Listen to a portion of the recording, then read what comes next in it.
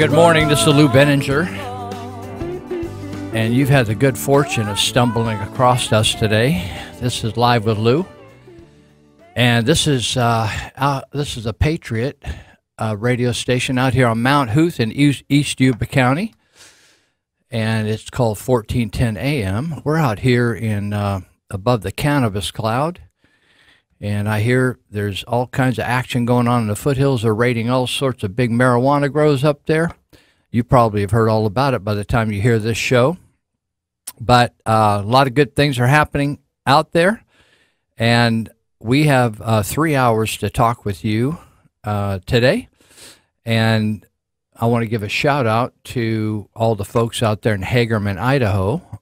Uh, we used to just have one couple that transplanted out of Marysville, and now they have recruited two or three other people or one person or something. Our number. Somebody asked me this last week. How many people are listening? I said I don't have any idea. We, you know, when we started, people say, "Oh, I listened," so we would count them, right? So now we figure we have over 50 people. So out there in Hagerman, maybe we'll get a bigger audience in Yuba Sutter. We'll see. So also I want to give a shout out to the guys at Juvenile Hall, guys and gals at Juvenile Hall. That's the cannabis club over there. They they're listening in their cells. If they've been good, they get to have a radio and then they get to listen to me if they want to or their music. So uh, so I'll be gone for a couple weeks, but I'll be back over there when I arrive. Uh, back on the 26th, and I'll be back in Juvenile Hall hanging out with you guys and ladies.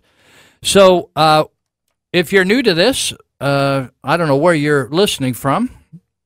We're out here in Northern California, what we like to call the hopeful state of Jefferson. And we broadcast over a variety of uh, counties, maybe portions of five counties, but pretty strong in a couple. So if you have a hard time listening, it's a little iffy and scratchy. You can go on our our website at kmycradio.com and click on the listen live, and hopefully the live stream is working.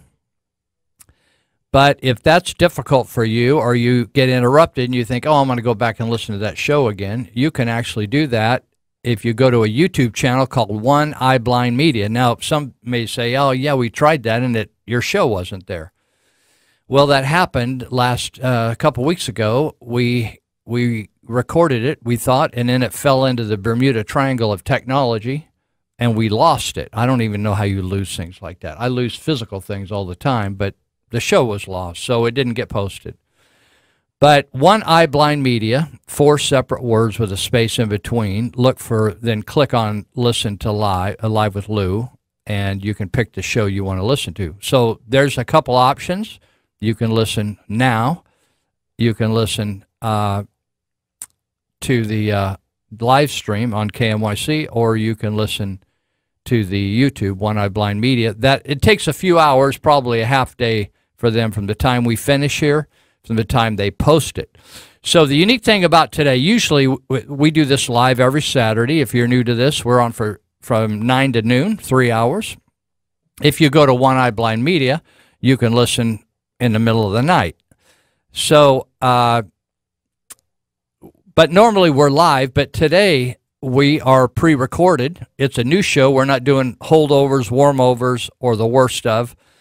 Uh, because we, uh, Santos, the wiki man, the guy that's keeping me out of the techo, techno ditch, uh, we, he and I couldn't be here together, but we have reconciled. So we, we hang out together and we try to be together as much as possible on the show. But I couldn't make it on that Saturday. So we're just giving you some fresh stuff, but it is recorded. So you can call the show, but you'll just get a recording and you can leave the big kahuna that runs this place your complaints or your uh, praise.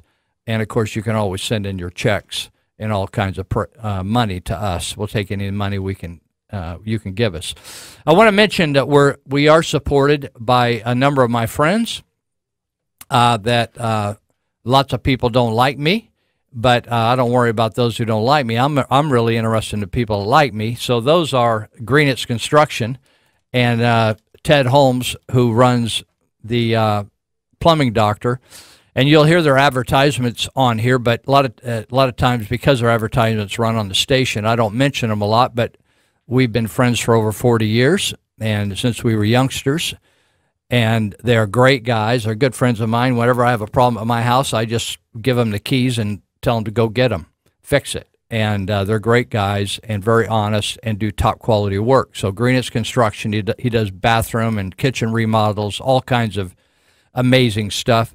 I asked him the other day, Dave, how how busy he was, and he, he quoted some date off in the future. I thought maybe Jesus would return before he'd get caught up, but uh, he said now if, for him for you to get him to do your job, you need to take a personality test because he's just not going to work for anybody. But Ted Holmes is a great guy. Anytime I wash the dishes and the water runs out under the sink onto the floor, or out in the out and outside, and it steams up in the garden, which is a bad sign, or when I flush the toilet and it comes back at me instead of going outside I know enough on YouTube you can study those things, you know. And uh, so I called Ted. I said, Ted, something ain't right over here. I don't know what it is. So he comes and makes all things right in my life.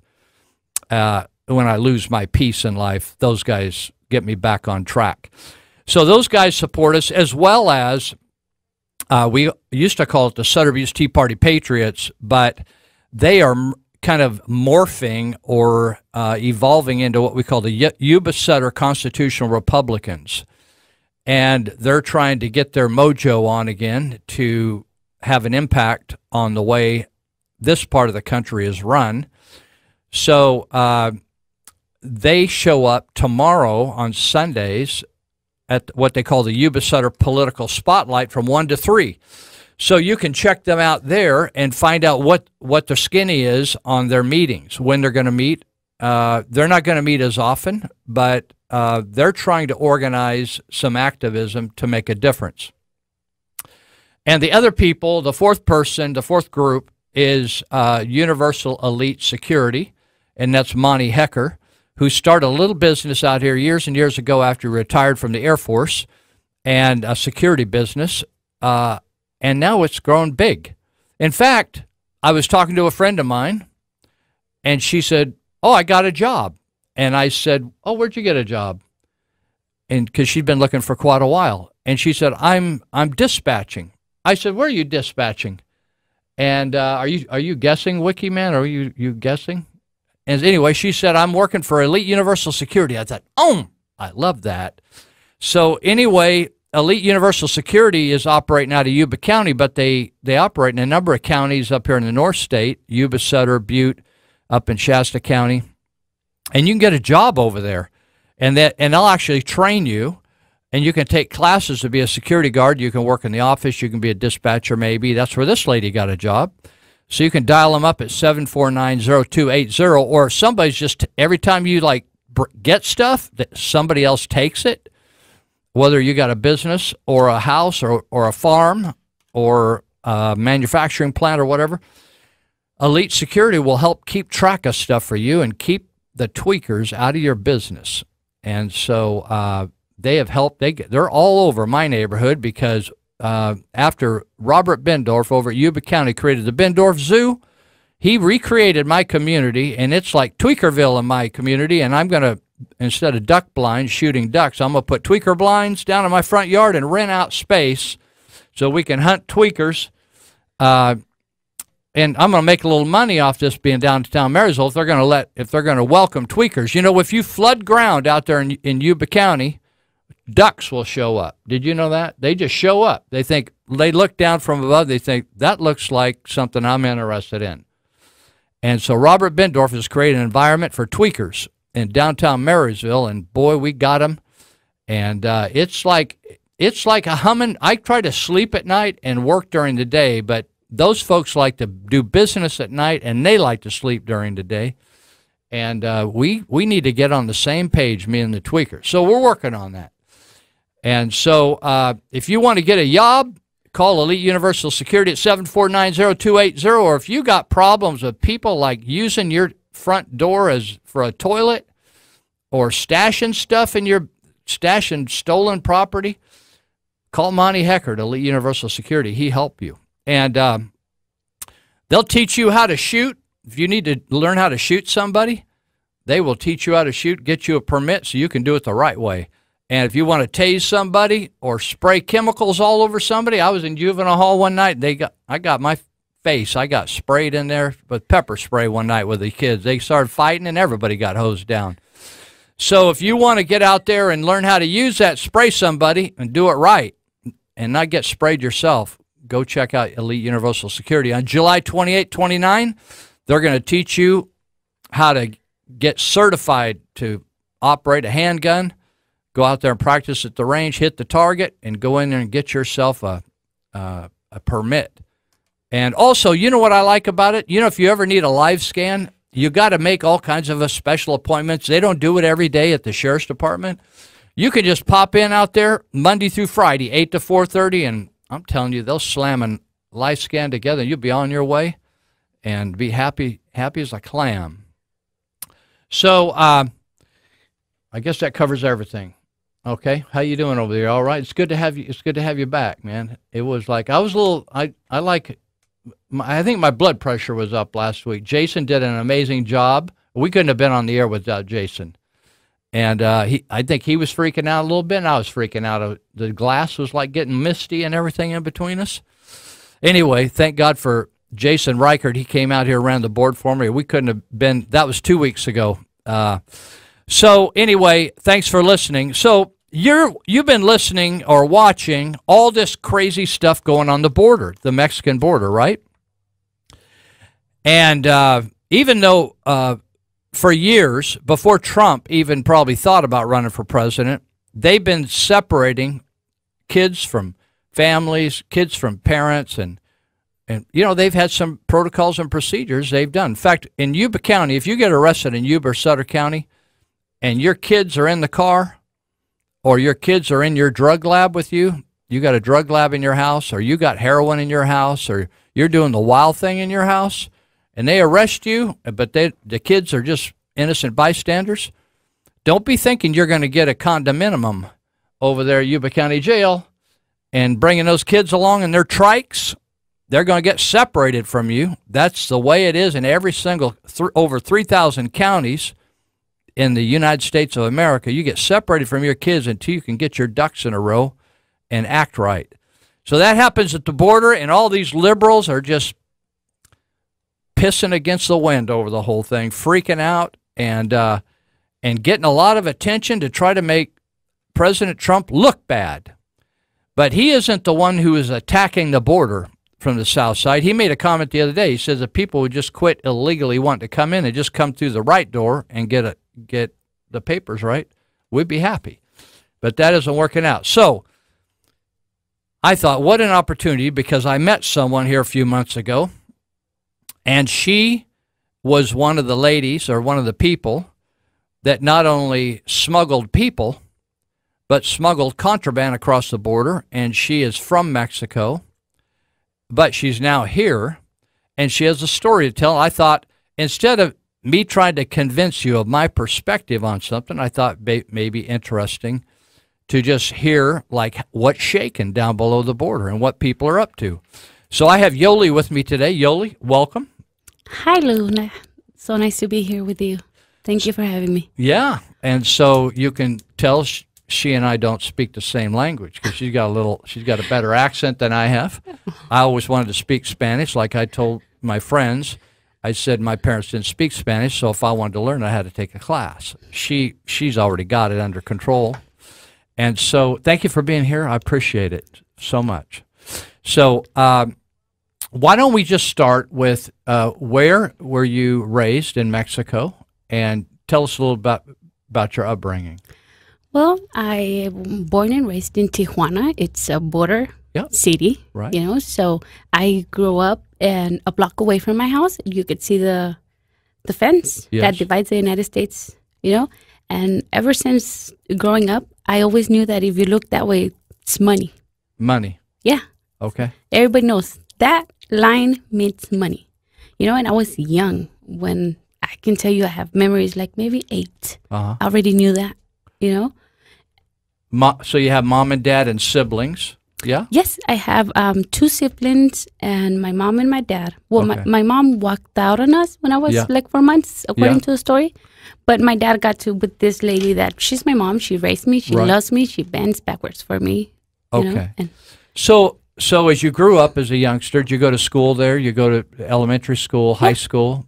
Kindergarten, elementary, and I I did up to like seventh grade. Okay. Translated to English, you know. Okay.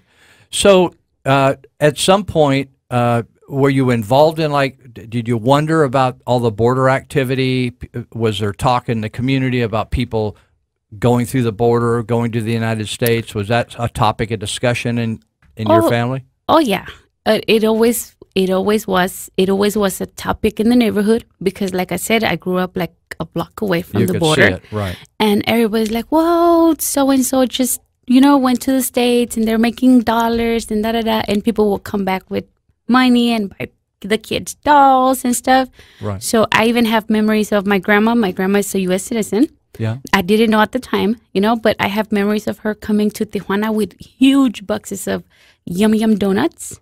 So it was like the amazing thing, you know. Yeah. One time she took us some shoes that had glow in the dark dinosaurs, so we were like the coolest kid on the neighborhood yeah. and stuff. It was like memories, you know. So yeah. So at obviously, I'll just lead into this because uh, Yoli has been involved in criminal activity uh, in bringing people across the border and also smuggling uh, in, in the United States, smuggling narcotics. So let's get into you know how how that you went from this youngster raised in Tijuana, family, school, and how did it did you go from there to like uh, illegal activity of bringing people in, and when did that happen? How did it all come about? Well, um, it uh, it all started when I was like around nine. My parents separated, and we were just raised by Mother Nature. By the time I was like 14, my dad stopped paying for my school. So I had no other option but not to go to school because in Mexico you yeah. have to pay for right. everything. You, yeah. If you don't not wearing your uniform, you cannot walk in the campus. Even if your dad paid for the semester, it don't matter. You're not wearing uniform, you're not walking in. You have to take your own money for lunch. So no, fr- no free school, no free food, n- no free lunches, no. no. free breakfast. No, no, no. There's not even uh, help. If you don't understand something in class, you're just dumb. Yeah. And there's not like, okay, well, if you don't understand this way, let me teach you this way. No, no, no, no, no, no, no.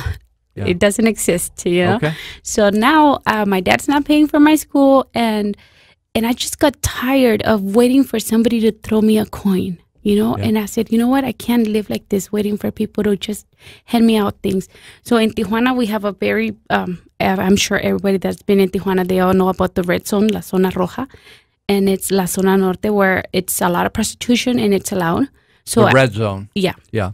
And so it's at my age and in my years, I had two options. Either I start in the drug business or I start prostituting. Yeah. So I started in the drug business and at, at first I tried to hold a job in a, in a shoe shop, but it didn't work. I was I wasn't even making it for the bus to go back home and and a man met me one day. I was walking and he said, hi, you need a ride? And I said, I don't need a ride. I need a car.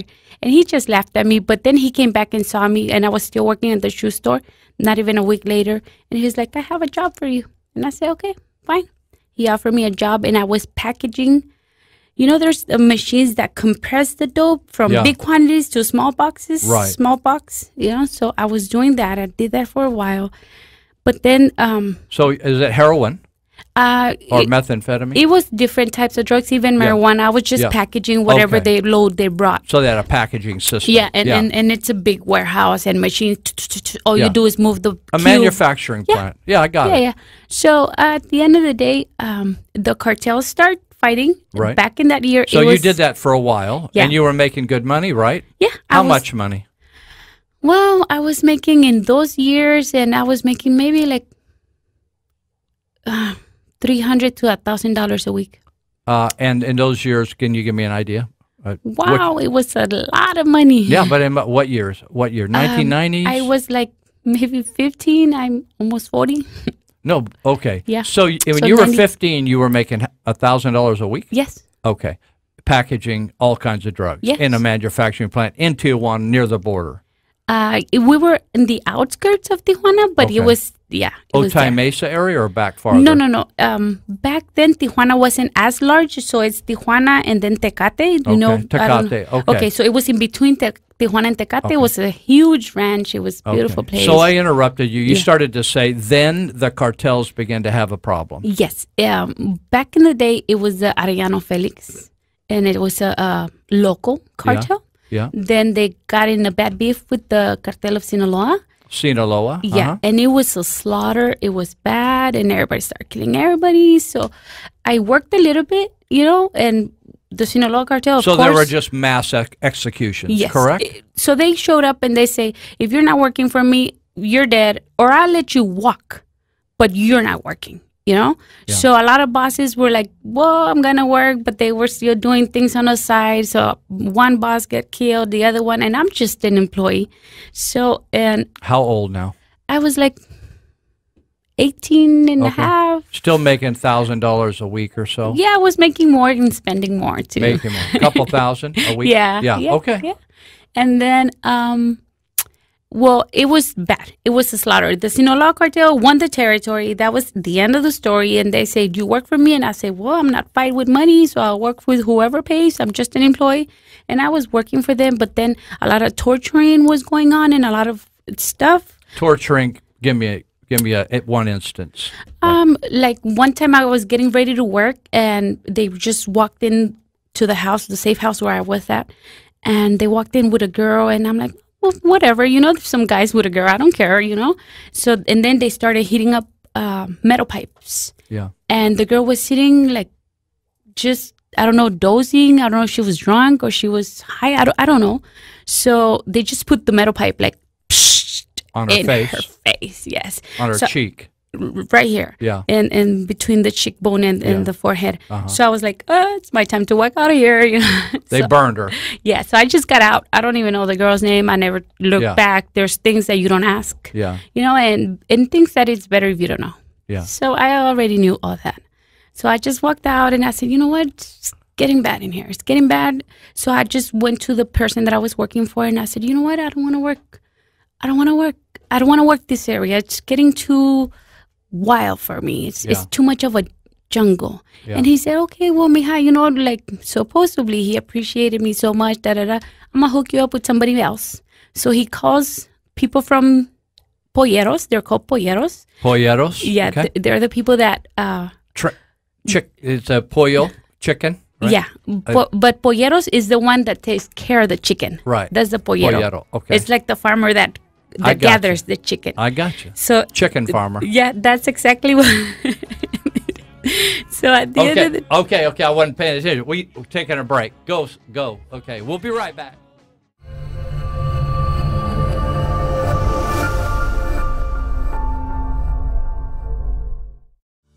Did you know that Article 4, Section 3 of the U.S. Constitution lays out the framework for the state of Jefferson's plan to split California? A state can be formed from the land within another state if the state legislature and Congress approve it with a simple majority vote. 51% is all it takes. Your vote doesn't count in Northern California. California is broken and the time has come for 51. Please visit soj51.net and donate now to show your support. Check out the Territorial Dispatch. Papers a weekly and can be obtained free at distribution or by mail through subscription. It's only locally owned and operated newspaper in the region. The paper is the rest of the story. And also check out the E-Territorial. It's an online version of the Territorial Dispatch which features local news and events for the Yuba Sutter, Colusa, and Nevada County areas. You'll also find daily and breaking news updates, current traffic, and weather information along with a calendar of local events. Visit the E-Territorial at at eterritorial.com. All right, welcome back. You're listening to Live with Lou. Uh, I'm here with Yoli, and we're talking today. Usually, I don't do interviews, live interviews, but we have Yoli here in the studio. And the unique thing about her is that she was raised in Mexico and and scrambling around looking for a job as a teenager, going through a tough family situation. She worked at a shoe store, and then ended up working in, in a packaging plant, packaging uh, narcotics. And we were just, uh, before the break, we were just getting into uh, talking about a new career, moving from drugs because the Sinaloa cartel came in and butchered the other cartels did mass executions. You may have read about those. I, I certainly did because I've done work in Tijuana. Uh, and so she got hooked up with a group of people called the Polleros. Polleros, or the chicken farmers. and so, and, and what's the point of that, the term? What did they do? Uh, what they call pollos is Pollos? the the immigrant The that is immigrant. coming in. So They're the people- pollos. People that want to get in the United States. They're pollos. pollos. all of them. We call them chickens. Yeah. Pollos. Okay, got it. And then the pollero is the one that gathers them. And I was an employee. And so, what? Hold on. They pay the polleros, the the Yeah. pollos, the immigrants pay the polleros. yeah.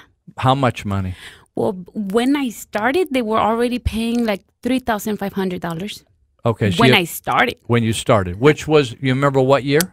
I I'm not good with timelines, but I was between like 2019, the, the most because Okay, at- about twenty years ago. yeah, Okay, so about twenty years ago, a person would pay a pollero thirty five hundred dollars, yeah, and then the pollero would turn around and he hired you yeah, to do the dirty work, yep. I was the guide. and you're the guide. Yeah. Okay. yes. And so, tell me about then. Uh, what? How would you do it? What'd you do? Um, Well, at first it was all uh, practice, practice, practice, and and you know like the border patrol, it's there, it's working, they're Right. doing their job, Right. you know. But um, me personally, there's guys that wait for the border patrol shift change Yeah, to just shift change. run across because Tijuana and San Diego they're not that big of a part. Right. I personally didn't. I would rather have the border patrol just there. I want him to be there because I'm gonna work around him Right. through. The, I'll make sure to work blind points from cameras, blind points from his car. Right. You know, he can only look at so much at a time. He's not an octopus. Right. So I would just take advantage of the little ups and downs from the floor, and then I You, will. you mean on the ground where it goes up and down? So we're what we're talking about is at Tijuana. If if you folks out there listening have have you been down there? You have the San Isidro crossing, right? Mm-hmm. At San Diego, it down into Tijuana. But then from San Isidro west to the ocean, there's a large barrier, right? yes, that's all my turf. And that was your turf All to, of it. to climb that fence, Yes. to get through that fence, Yes. and to bring the polleros. No, bring no, the bring pollos. the pollos through. yes. that the polleros gave to you Yes. after they took $3,500 a Yes. piece. So how much did you get paid? When I was starting, it was only three hundred dollars. You got $300 per person. Yes. So when you practice, that means you went to the fence Yes. and, and you just you you you breach the fence. You I- climbed I, I it. just uh, you go to the fence and then you study the your border patrol agent. What does he do? Where does he look? You study him. You Yeah. study him three four days, and Yeah. then you know how he moves, and you become his shadow. yeah. To where if he's turning left, you're walking through the right, Yeah. and and you're taking advantage of whatever blind spot he has. So at the beginning, it was only me getting across. I get it across. So once you- Practice. yes, once you get like 12, 13 times across by yourself, they're like, oh, well, you know, You got this. Yeah, Let, let's test her with a few.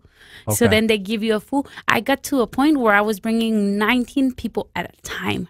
That so was my tops. 19 times $300. Well, no, what, by the time I got that good to bring 19 people at a time, I was getting more than, I was getting like, sometimes depending on who the pollero was, Yeah. I would get from 800 to 1600 per. Per person. Yes. So now that the price is at, so in the beginning you've maybe took a couple people across, right? Well, a lot. And in the very f- first when you were a oh, rookie. the first time I came in, I came in with three and I lost all three of them. You you they got caught. Yeah, they got caught, but I didn't. Okay. You know, like as long as I don't get caught, they can get caught all the time. So when they get caught, they just they will release them back across the yeah, border. it's just like a book and release. so it's a book and release. They do not incarcerate them. No, Okay. So uh, if you got caught, you do you just claim that you're one of them? yes, I would say, oh, well, the the guia left us. Well, of course, I would say it in Spanish, right? Yeah. That, like that the guide left. yeah, The guide left el you. guía nos dejó. So you pretended when you got caught, if you got caught, that, that you were just one of the victims. Yeah, And you yeah. just wanted to come to the United States, us- and they would turn you back to Yeah. Mexico. So over and over and over again, it's just catch and release, catch and release, catch and release. So so you, you did it in a number of years, and then it got up to where you're you're really good, yes. and you're bringing groups of 19 people times how much money? Up to nine. Uh, Between 800 to to 1600 I'm getting per guide. So they're paying the polleros paying you that money. Mm-hmm. And and so he's probably getting more back yeah. then, right? Yeah. The the price went up. So today or what do you imagine it is? Or right the now, last time, um, what what were what was the price that the polleros were getting? The last I've heard, it was between ten thousand to fifteen.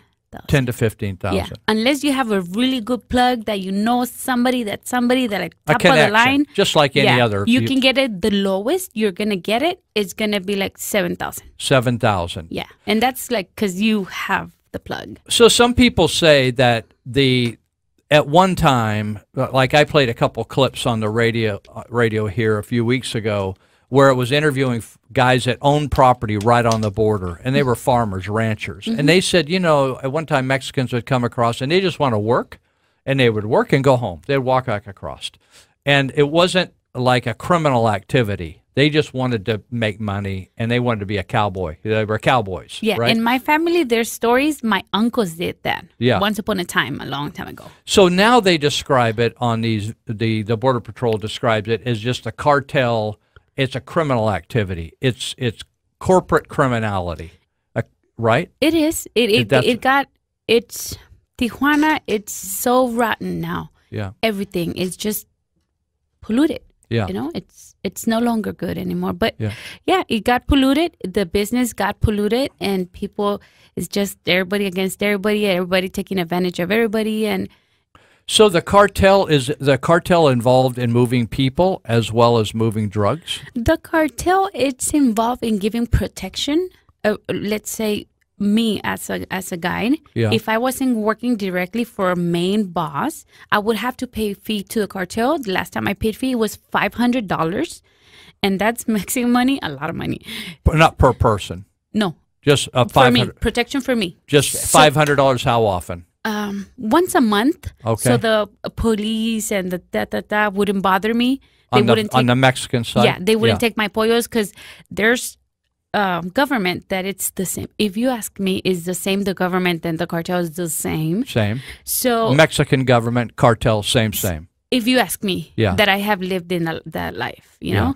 So um, for them not to pick me up, get me arrested, take away my pollos or whatever, I had to pay a fee to the cartel, and then they would leave me alone. Yeah. If they would stop me, they would say, "Well, okay, well, what's your code?" And I would say, "Well, today it's jumping rope," and they say, "Okay, you're good. Bye." Yeah. You know? Jumping rope means uh, no, I said jumping rope because it would be just a random word or whatever. Oh. So sometimes it would be like, "What's your code?" Well, my code is Y.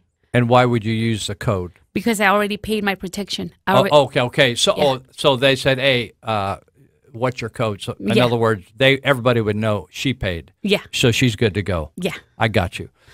So, uh, so you did that a number. How many years do you think you you moved people? Until I was like twenty six. Okay. So maybe what, ten years or yeah, eight years, eight yeah, to ten about. years, and and then what happened? And then um, it got so bad in Tijuana that uh, when I, it was like uh, maybe seven years in, like on 2007. Yes. It was like very bad in Tijuana, and I said I can't. Violent. Yes, very very bad, very bad. So I said I can't have my kids. I already have two kids. So I smuggle them across the border. Not me, because I'm not an expert on kids. Yeah. And and but there's families that have like tons of respect that grandpa and son and, and daughter and keep generations after generations. They they only work with kids. They just move children. Yes, and they but have, not their own children, just people's children. Yeah, no, no, no. They come to the United States. They have kids here, and with their their own kids' papers, they bring other kids. Okay, they use false papers yeah. and bring other Mexican yeah, children like, through. Like this guy's daughter. Yeah. She crossed my son with her son's papers. I got it. Yeah, and that's very normal. People, Com- a lot of common. people do that. Yeah. Common. Yeah. Okay, yeah. so you moved your kids across yes. because it was dangerous. That's yes. two children, right? Yes, two children. Okay. And then I I don't know how to work in the United States, and I don't know the language. Yeah. So I go back to Tijuana and make money, and then bring it in and spend it here, and then I would and I did. So that. you went to Tijuana to make an income, and Yeah. just the opposite of what everybody else was doing. Yes. Because you made good money, but Yeah, your children were safe yes in the United States. Yes, and and I just didn't know how to make money here, and then Because you were you didn't know English yet. I didn't know English. Right. I didn't know. I have no papers. I had no papers, no legal Right. status, no nothing. So I was like, uh, how do I feed? How do I pay rent? Now I move in San Diego. San Diego rent is like fifteen hundred dollars. When I first landed, it was uh, fifteen hundred dollars for. A, I think it was a one bedroom apartment on Yes. 45th Street in, in by University. Yeah. If anybody knows San Diego, they know who. Yeah. It's in City Heights. Yeah. And I was like, oh, $1,500. Whoa. Well, now I, every time I ran out of money, so I would go to Tijuana, make money, and then come and sit on my money and spend my money with my kids and do what. And then when I was running out of money, oops, time to go to Mexico. And I would, So people think of Mexicans coming here and sending their money back to Mexico. Not you me. were going there making money illegally and bringing it in the United States And to take care of your yes. family. Yeah. yes, I did it for, for several years. for several years. Moving people, People, were yes. your contraband. Yes. Yeah. So, so when did you quit that and why? I quit that when um, I got tired. I, you know what? I got greedy. You got greedy. because I was good at what I was doing. I was top of the line. I already had respect. I already could have taken a bigger step, but I was like, "Mm, ah, you know what? I want more money because I'm now I'm spending dollars. You were spending a lot of money. No, let me tell you, Oh, when I was in Mexico, I wasn't even saving money. I was Yeah. spending my money. But Okay. here in the United States, my Mexican money yeah, was shorter. It, it lasted shorter. right. It amount of didn't go as far. Yes. Right. I got so you. now I want more money, and then I said I made a few phone calls and said I want back in the dope deals, Okay. and I was back in the dope deals. Because there was more money, but you weren't smuggling it into the United States. I I personally me personally I have never smuggled drugs, but I have had a ring of people under me smuggling the drugs. okay. So you just worked in the business. Yes. Okay. Yes. So, uh, so did you end up at some point? Then, how did you you you end up being abducted at one time, right? That was in Mexico. Yeah. Right. Was Yes. that during the before you you moved completely into the U.S.? when I was when I got my shot in the head, that was uh, I already put my kids in the United States, Yeah. and then people know that you're pushing money, that you're making money, and they're like, "Where is this girl's money going if she's not, you know, Yeah. cutting it with us and stuff?" So, so I get picked up, and they ask me for money. They so is is it common this this procedure of of pick, holding people hostage and demanding money? yeah, it's called secuestro express. It's like express kidnap. Express It- It's bread of every day. every day. They're just picking people up off the street and hold you hostage Yes. until you kick. How much did they ask you for? Five hundred dollars. Okay, so uh, if you don't give me five hundred dollars, I'll kill you. Yeah, So just like that. okay, so what? So what happened? I refused to give them the money, and I was insulted. I was like, "Oh, sea, like five hundred dollars? Are you kidding? I'm worth more, you know." Yeah, you thought they were cheap selling you. Yes, and and I was just too prideful, and I'm like, I'm gonna give you nothing. You know, I'm gonna give you nothing. So they took me to a far end away from the city, and they got me on my knees, and they shot me in the head, and they threw me down a cliff, thinking that I was dead. And I I don't remember going down the cliff, but I remember landing, and I landed on my stomach, and I, and I was like, isn't my life supposed to like flash in front of my eyes or Thought something? you were dead. Yeah. Yeah, you should. But then. I started thinking of my kids, and I'm like, I think I'm not dead. So Yeah. I sit down, and then I have all these blood running, you know. So I grab my hair, and I made it into a ball right here where I feel the pain, and I could look far away. I could look a little dot of a lot of dots of lights, and I knew that was the city, and I knew if I made it there, I would make it. You know, so I Yeah. walked from around 8 p.m. to like dawn, yeah, sunrise, yeah. because I, I don't. You just walk towards the lights. They took my my cell phones, my jewelry, my my watch, everything. So I have no track of time. But I know they picked me up like around seven, six, Yeah. and I know I I when I landed to the first neighborhood, it was sunrise. yeah, That's all I you know. So um, I was terrified, and then I remember I was like in a panic mode, Like every time I heard a noise, I was like hiding and thinking that they were coming back for me. They found out I'm not dead, and I'm in a panic mode. And I I'm never gonna forget the person that helped me. His name was Roberto, mm-hmm. and I was hiding like next to a car because I heard him coming. Yep. And he said, um, "Hi, are you okay?" And I opened my eyes and I said, "No, I'm not. I need to hide and I need to make a phone call." And he said, "Okay." And he took me into his house and um, I made the phone call and and then I he gave me a dollar and I wrote the he gave me another shirt and I put another shirt because all my clothes was bloody. I put another shirt on top of my clothes and and I just wrote to the nearest a point because I called my friend and I say hey and everybody's already knowing like hey we thought you were dead? And I'm like oh my god everybody knows now? So he's like you need to hide because they're looking for you. And I said that that's fine. So why didn't you go to a hospital? Because if I go to the hospital, they're going to turn me in. They're so gonna, the hospital would turn you into the shooters and yeah, then finish the job. They're going to call and they're going to say, hey, you didn't do the job right. She's in room 16. So that's Tijuana. Yeah. that's Tijuana.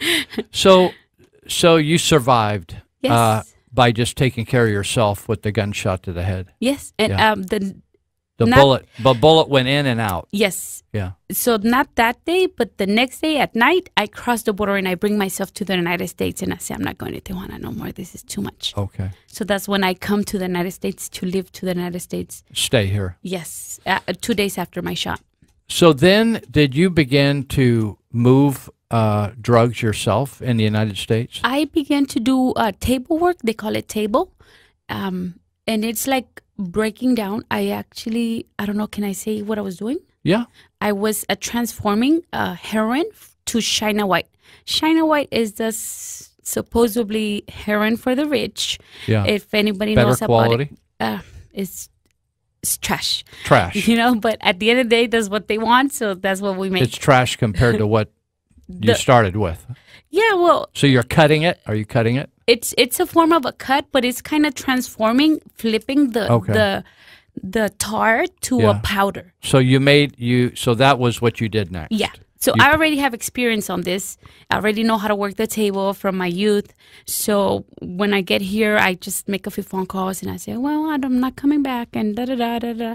They're like, "Okay, well, let me call somebody," and then I start doing table work, and I'm packaging and I'm breaking down and transforming from heroin to China White. Yeah. That's what I'm doing at the beginning. Yeah.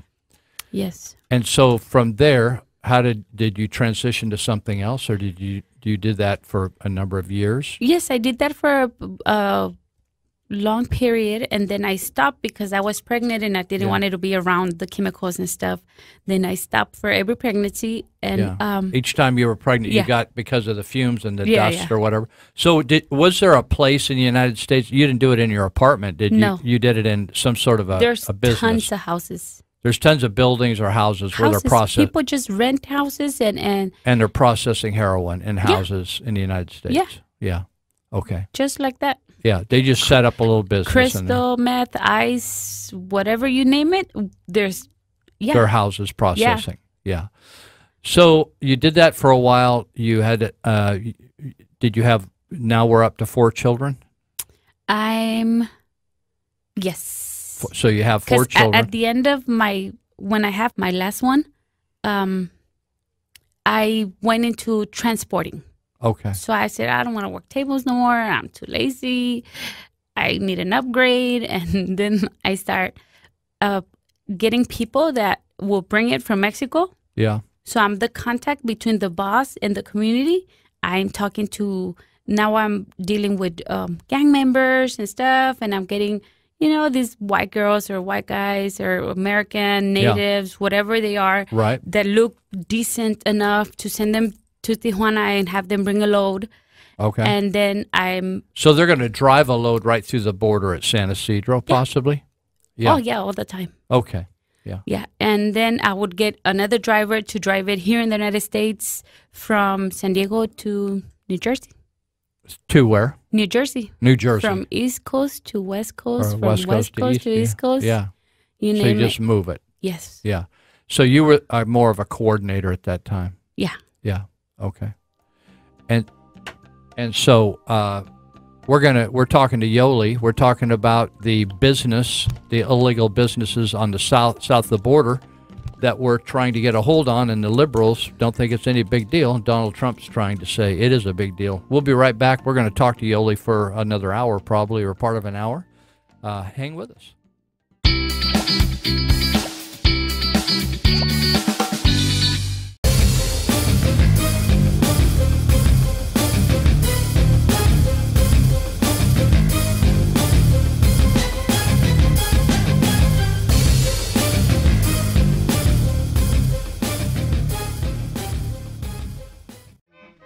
All right. Welcome back. You're listening to Lou Binninger Live with Lou, and I'm here with Yoli. We've been talking about the border. We've been talking about Mexico. We've been talking about the people trade, the, the drug trade.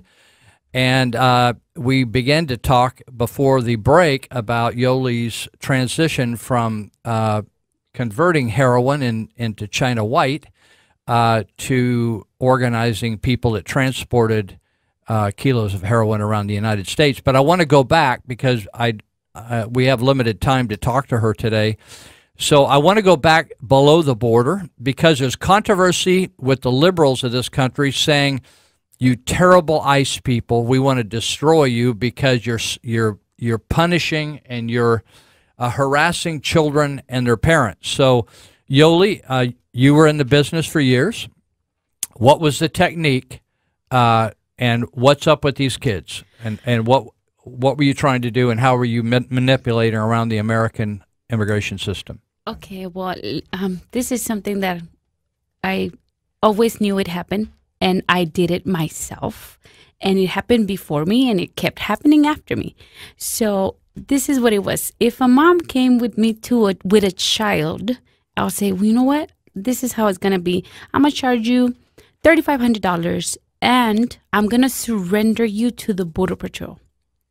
I'm not gonna surrender you if you don't pay me the first. so for right. starts, you have to pay take me. Take the money. Yes, take the money. Then I would surrender the mom and the kid to the border patrol, and I would tell the the lady, check this out. They're gonna separate you from their child. It's okay. Don't panic. Don't freak out. They're gonna give the child papers because he's a minor, and they're gonna give him to an, a place in the United States. And most likely, because you're the mom, you're going to get to stay. But if it happens that you don't get to stay, don't take the child back. Sign your um it was a voluntary departure and and and, and you come out and you come and look for me. Voluntary uh, departure. She's in the United States. She's with her kid. The the they the, they take the child. They yes. give it some sort of documents. They put them in a, a place of of safety or whatever, and and she signs a document because they say you can't come in. I'm going to go back. Voluntary yes. departure. I leave. No no harm, no yeah. foul. Sometimes the kids were uh, given to the relatives that they have here in the United States. Okay. Because I heard many stories. They always talk to me about it. Yeah. Oh, well, my, my kid, it's already with her dad or with her the aunt or whatever. Yeah, my sister. Blah blah blah. Okay. So now she comes voluntary departure. Don't take the kid. That was like a must. So the you, kid. So in other words, you didn't even sneak them in. You just walked up and gave them to the yeah. border patrol. I surrendered then, them. Then you brought. Then the woman came back out, and then you. Then what'd you do with her? I would smuggle her all the way in. Then you then you took her through a different route and, and, and smuggled her, all her the across. Way, yeah, all the, way fence, across. Over yes. the fence. Or sometimes I would use um, you know those claw claw jaws that the fire department uses to break the cars. Jaws of life. Yeah, those ones I would use them to pop the the pipes the from pipes. the drain holes and boom boom, and we would open a pipe and we would go pipe, like, and you'd go through the fence. Go through the drain holes. The underground. Yeah. okay. So, so okay. the drain hole that is between Mexico and the United States. Yes. Where the line divides, there's tubes, very thick tubes that you cannot bend just like nothing.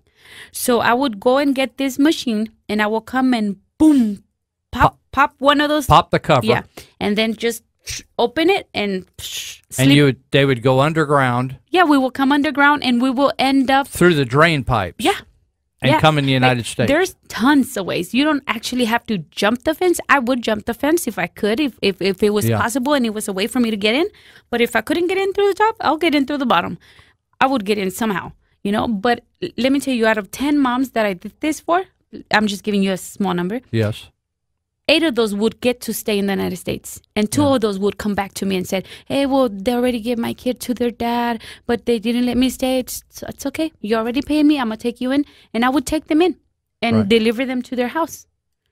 You know, and and now the kid has in, papers in the U.S. Yeah. So uh, you're saying that almost all the mothers eventually got in. Yes. Even though, and the kid also got in. The kid always got to stay. Yeah. They never threw back out a kid.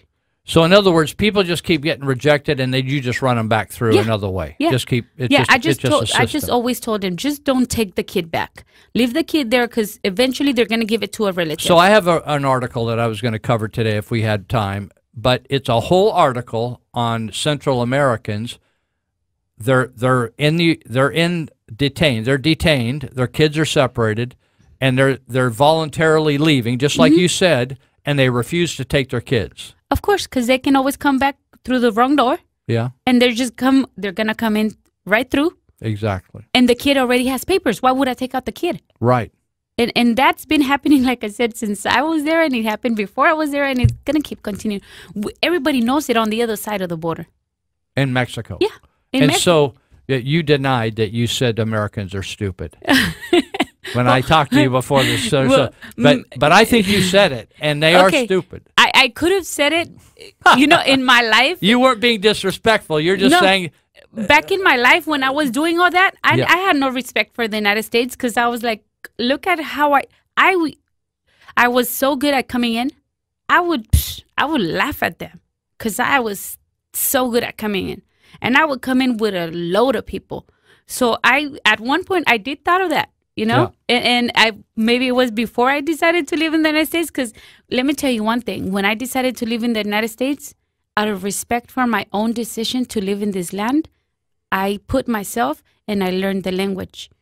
Because i said okay it's my decision to live here. I'm going to learn the language. And i didn't went to no school no no community school. No i learned in my house and i know my english is not that great but i i I started to cherish this yeah, land, you, you, know. But when I was making money, I was like, dude, they're stupid.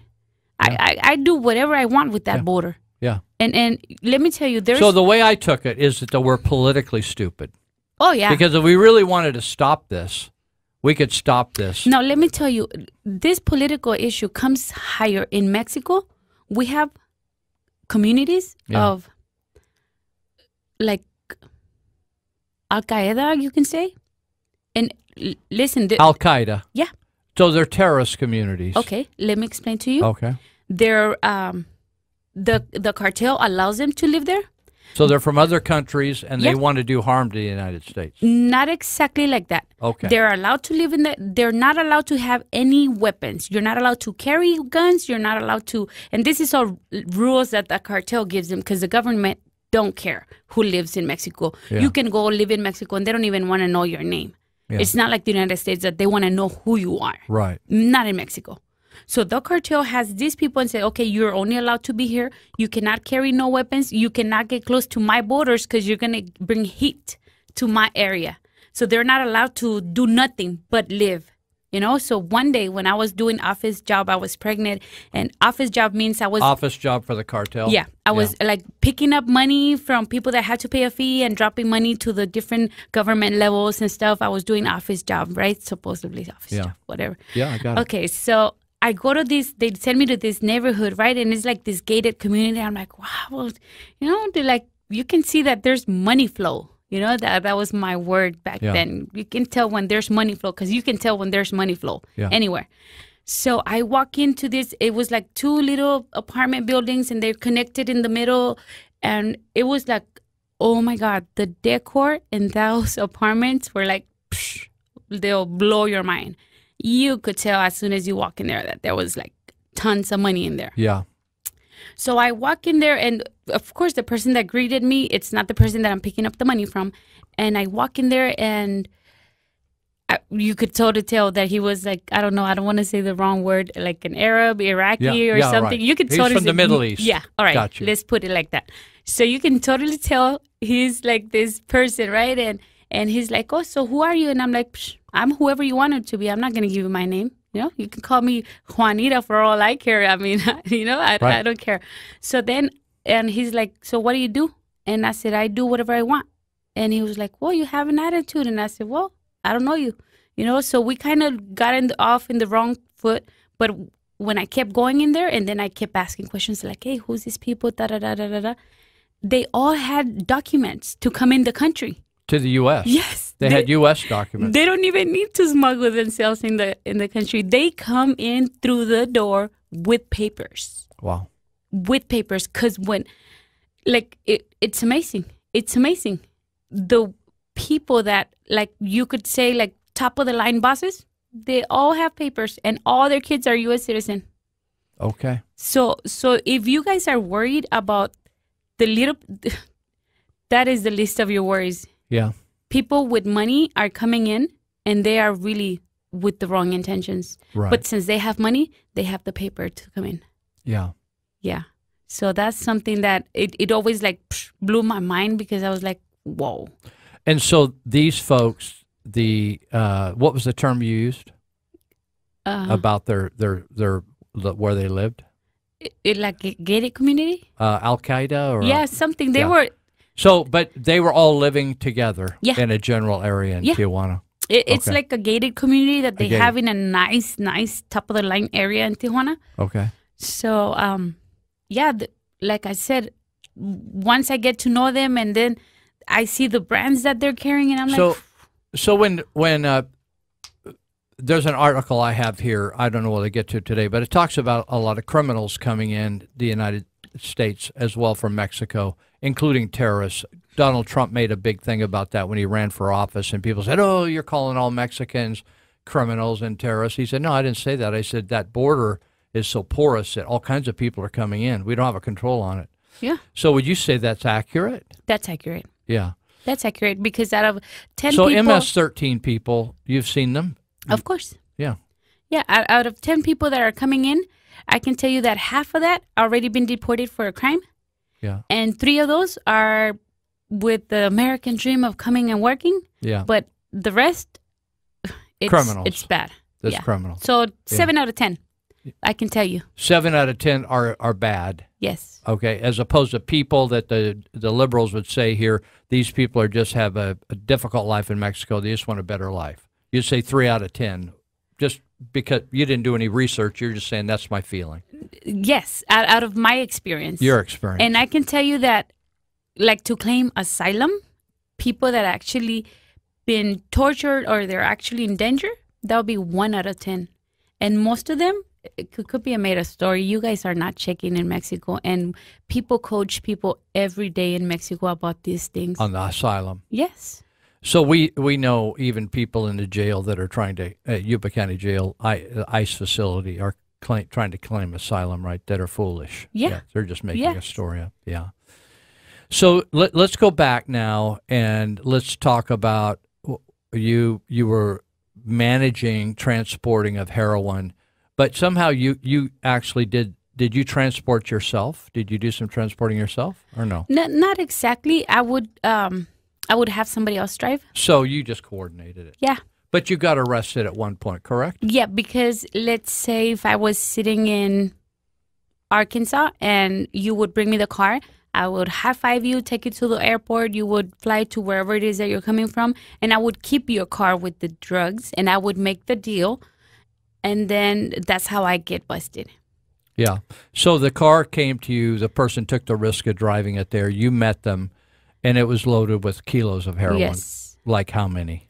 It had the car had thirteen, and I had one already in my possession in my bag. Yeah. So, uh, so then the, at some point the government began to follow you, right? Or um, or were they they figured out you were of concern. Well, Correct? they um, somebody made a phone call, and it was a person that knew me, made a phone call and reported me. Okay. And when I get arrested, they're like, "Who are you? Why are you in my city?" Da da da da da da da. Yeah. You know. So when I get arrested, they only find the one kilo that I had in my personal bag because in my yeah. personal bag it was, um, I had one. Yeah. So they only find that plus money. Yeah. You had money. Yes, lots of money. Lots of money. Yeah. But um, then they X-ray the car or they dog search. I don't know what they did with the car. They yeah. found the rest. But I, of course, I said I didn't know the car had any. I'll take the rep for the one I had, and you right. know, went back and so forth. So you went to prison. Yes, I did. For how long? I did uh, two years fed time. Three. Two. Two, two. or three. Two. two. Two. And uh, where were you incarcerated at? What? FCI Dublin. Dublin, yes. California? Right here, 35 minutes away from the Bay. Bay Area, mm-hmm. Dublin, California. And so after you served your uh, term for your crime, then what happened? I go to immigration hold. So the process is like uh, Yuba County uh, for since the early '90s, we've had uh, ICE facility or INS facility holding immigrants, but uh, but all those people have served their time for their crime. But now, the, at issue is whether or not the government will allow them to remain in the country, go back to wherever they're living, right? Right. Or go back to wherever they came from, right. their their home that they started, Brazil, mm-hmm. China, mm-hmm. whatever, right? So then you were moved to an uh, ICE facility or uh, holding facility to yes. to debate whether you're going to get to stay here with your with your family, yes. right? And so that was somewhere in California as well. Yes. Okay, and then somehow you ended up coming up to Yuba County, eh? Mm-hmm. Okay, so that that brings us up till recently, and so you, how long were you in uh, deportate the hold from the immigration and custom enforcement? Between eight to nine months. Okay, so now we're up to two yep. years nine months. Yeah. Right, and so the so the so when you went to court, the immigration courts are they are they most of them in San Francisco for nor- Northern California? Yes. Yeah, so they would transport you down there to go to court uh, to argue your case, and then they'd bring you back to Yuba County Jail, right? Yes. And so, how long between court dates? Uh, months sometimes. Months. Yes. So many times in like you you've met them, I've met them in Yuba County Jail, but I don't think the, the people know there are people that been there for two years, right? Waiting yes, yes, more Yuba. than two years. More than two years. Yeah, I think she's going to two years and a half. Three, two years and a half. And and what fighting her case, appealing yes. it, losing, appealing, right? Yes, yes. And and so here we're paying maybe a hundred dollars a day uh, to take care of folks in that jail. Uh, I think they get paid like ninety some dollars or something a day to take care of folks, plus transport you back and forth, et mm-hmm. cetera, and do all the paperwork. Uh, so it's pretty expensive. So finally, what happened? I mean, you're not in jail today. So what happened? I I get granted. Um, they cancel my order of deportation, and I get granted uh, protection under the United States, and um, they release me. Why did they do a? You know, that's not normal, right? That most people don't get that protection in the United States. Um, I I don't know much about immigration procedures, but I am sure that no, and and you know what I. Were they concerned about your safety? Was yes. that issue? That was an the, issue. The protection that I'm in, it's called CAT, and yeah. it's the Convention Against Torture. Yeah. And that's the protection I am in. Okay. So that that brings brings us up to uh, recently. Yes. Right? So I've been out for. I got out um, May thirty first. Okay. And that that process was that a surprise to you when that all unfolded? The the decision to find you kind of knew you were probably going to be getting out, right? Yes, because on May 1st, the judge said, okay, I'm going to cancel your deportation and I'm going to grant you protection under the Convention Against Torture. And boom, she hit the hammer, right? Yeah. But the, the prosecutor the said, devil. I'm going to appeal, appeal the judge's decision. So I want her to sit in jail some more. Yeah. And I I had to. I mean, there's no other there's no other option. So I sat in jail until until God worked His way. Yeah. Okay. And so the the day the, when they came in when the the uh, correctional officers in Yuba County Jail came in the middle of the night to talk to you, what did they say to you? They tapped my shoulder and said, "Pack it up, you're leaving." Yeah, that's it. That's but you didn't really know what you were leaving for, right? Uh, no. Even when I got to San Francisco office, they said that I was getting deported. I was like, wait, hold on. I can't be getting deported because I, I. You thought you had other instructions. Well, I thought I was waiting for. I was waiting for a written notice of the prosecutor uh, to appeal. To appeal. That's so, what I was waiting so for. So you rode the bus with how a bunch of other people that, that were getting that all were getting deported. Yeah. From the Yuba County Jail. Yeah. Yeah. So when you got there, they said, "Oh, you're going to get deported." Then something else happened, and they they changed yeah. the tune. Then right? I then I freak out and I'm like, hold on, hold on, I need to call my attorney. Da da da da da. And then he's like, okay, hold on. And he goes in the computer and oh no, you're not getting reported. You're getting released. And I was like, ah. yeah, yeah. So, and the way they released you was how?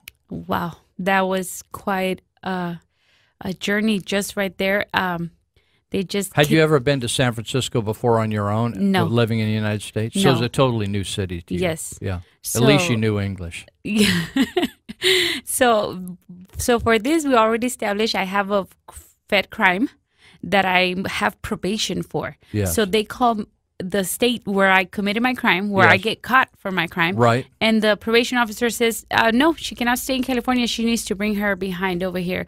And I said, hold on, I have a house lined up and I have this person that's going to help me and da da da. And he said, I don't care. I don't care about whatever it is that you want or whatever it is that you have lined up. I don't care. You need to come and pay here because this is where you committed your crime. And I said, hold on, but I already paid my crime. This time is probation. This is where I'm supposed to prove to you that I'm going to do the right thing and I'm going to take the right steps. And he said, I don't care about your success. I need you to come here and, and, and pay me the time that you owe me. Yeah. Come see and, me. Yeah. Uh, here I'm praying in my head and I'm thinking, you know, what am I going to do? And then he says, okay, I give you an hour to get from Sansome Street to I have the address right here. You want me to take it out? It's okay, just it's, across it's town. Golden Gate Avenue to the Fed Probation You building. have no idea where that is. No idea. No, no, clue. Do you have any money? No. Yeah. No, I don't have no money. I have but a bag of paper with my belongings that are like you have letters, all your belongings. Letters for my kids. The, the the very very small thing. I have a paper bag on my hand. That's and, all you have. And a post it to your name. Yes. From being in prison and incarcerated yes. for three years, nearly three years. And and I have a post-it where they give me the address of the Golden Gate a Avenue. post-it note. Yeah. And um and no money. No money. They say you if you get there in one hour and you talk to the main guy that is yeah. Joshua Sparks, I'm not gonna forget his name. Um, you talk to him and he approves you to stay in California, you can stay. But if you don't make it in one hour, I'm gonna issue a warrant for your arrest if you don't call me or you call me and then I'll I have the bus here for you booked. I just need to press enter and you'll be right on the bus. And I said, okay, hold on, I need to make it. So I they just kicked me out the door, and I'm like, oh, blinded by Onto the, the sun. streets of San Francisco. like the sun is bright and everything. So I'm like asking people with this posted in my hand, and and I'm dressed in a jail outfit, like this gray yeah. sweat pants and, and t-shirt prison outfit. Everybody, yeah. I'm, I'm sure everybody knows. So I'm like, excuse me, ma'am, do you know where this is at? No, I just know four blocks around. I don't move that far. And then I go to one man that I see coming and I said, excuse me, sir, do you happen to know where this is at? And he's like, yeah, yeah. Well, can I, can you tell me how to get there? Yeah, well, you're going to go to California Avenue. You're going to take one bus and then you're going to take the little open train. And I said, hold on, no, no, no, no. I don't have no money. I, I need to walk there. And he looked at me and he's like, You're going to walk there? And I'm like, Yeah, I need to walk there. Please help me. Just tell me which way to walk. And I'll walk that way. And somehow I can ask for more directions over there. And he take, we walk like not even a block down. And there's a fire station right next to that field building. So we walked to the fire station and we started looking at the map. And he's trying to show me where am I going. And then he looked at me and said, You know what, girl? Come here.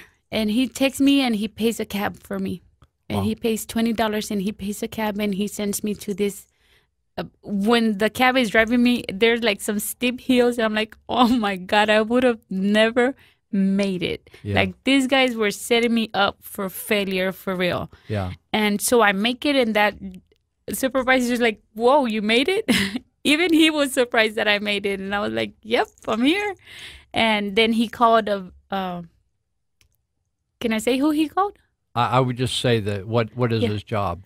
Um, the probation officer. Yeah, he's the, the, supervisor of the probation office. Okay. Uh, but he called a, a, person that was supporting me all this way, you know. So he calls and he asks all these oh. questions. Oh. oh yes. You mean me? Yes.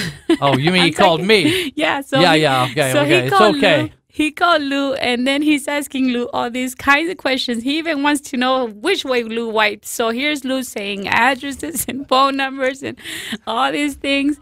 And and um, all right, we're gonna take a break. Uh, we'll be right back and finish this story uh, because she's got some place to go. So hang on if you want to hear the, the ending. Okay, be right back.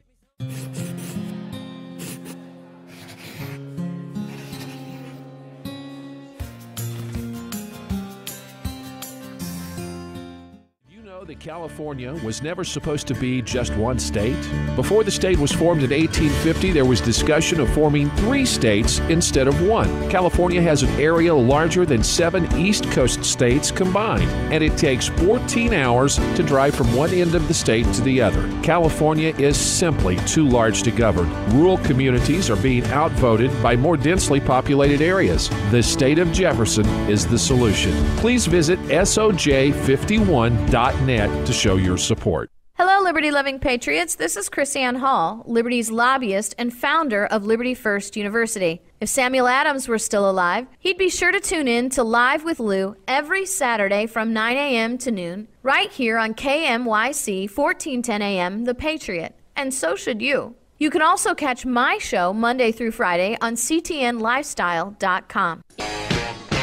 All right, you're listening to the Patriot 1410 AM, and uh, you're listening to Lou Binninger with the Wiki Man over here, Santos Vigil. This is Live with Lou, and we have a guest today. It's kind of different. It's nice today. We normally just talk, talk, talk, talk, talk about all kinds of stuff, but today we've been interviewing Yoli, a young woman who has a story to tell that I thought instead of me saying, oh, they say this, I say this, I thought let's just talk to somebody who's lived as, as a part of the uh, smuggling operation into the United States, smuggling thousands of people, uh, smuggling drugs, and involved in all the kind of corporate business. It's, it's no longer farmers or, or workers just needing to work a little bit, but there, it's become big corporate million dollar business bringing people and drugs into this country.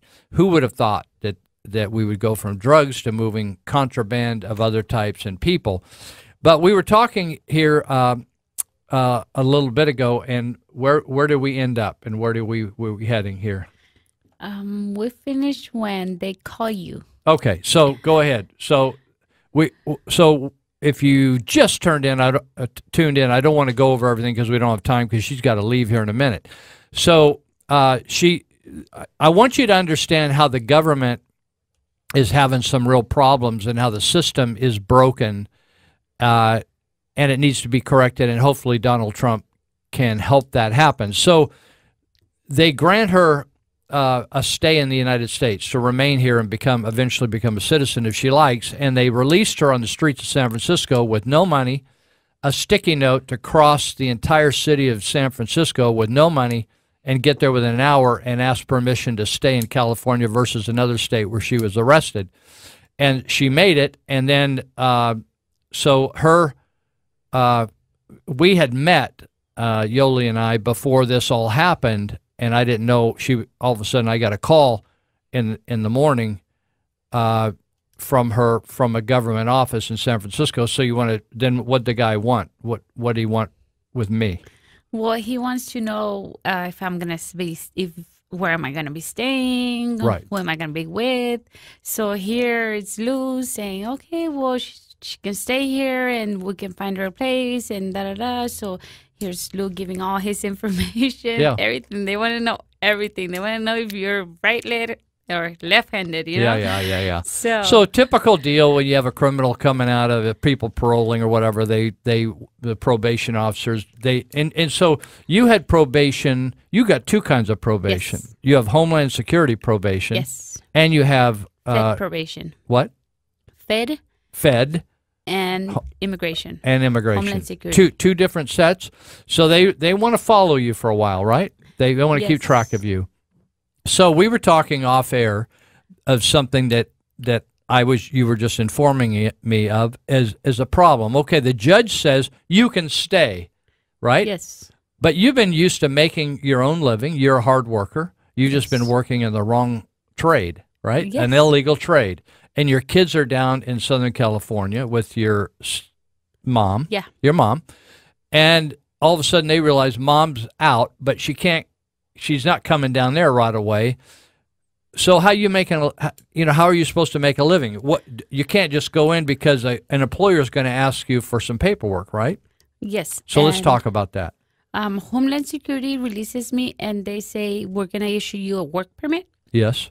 And um, first they say it's going to be right over.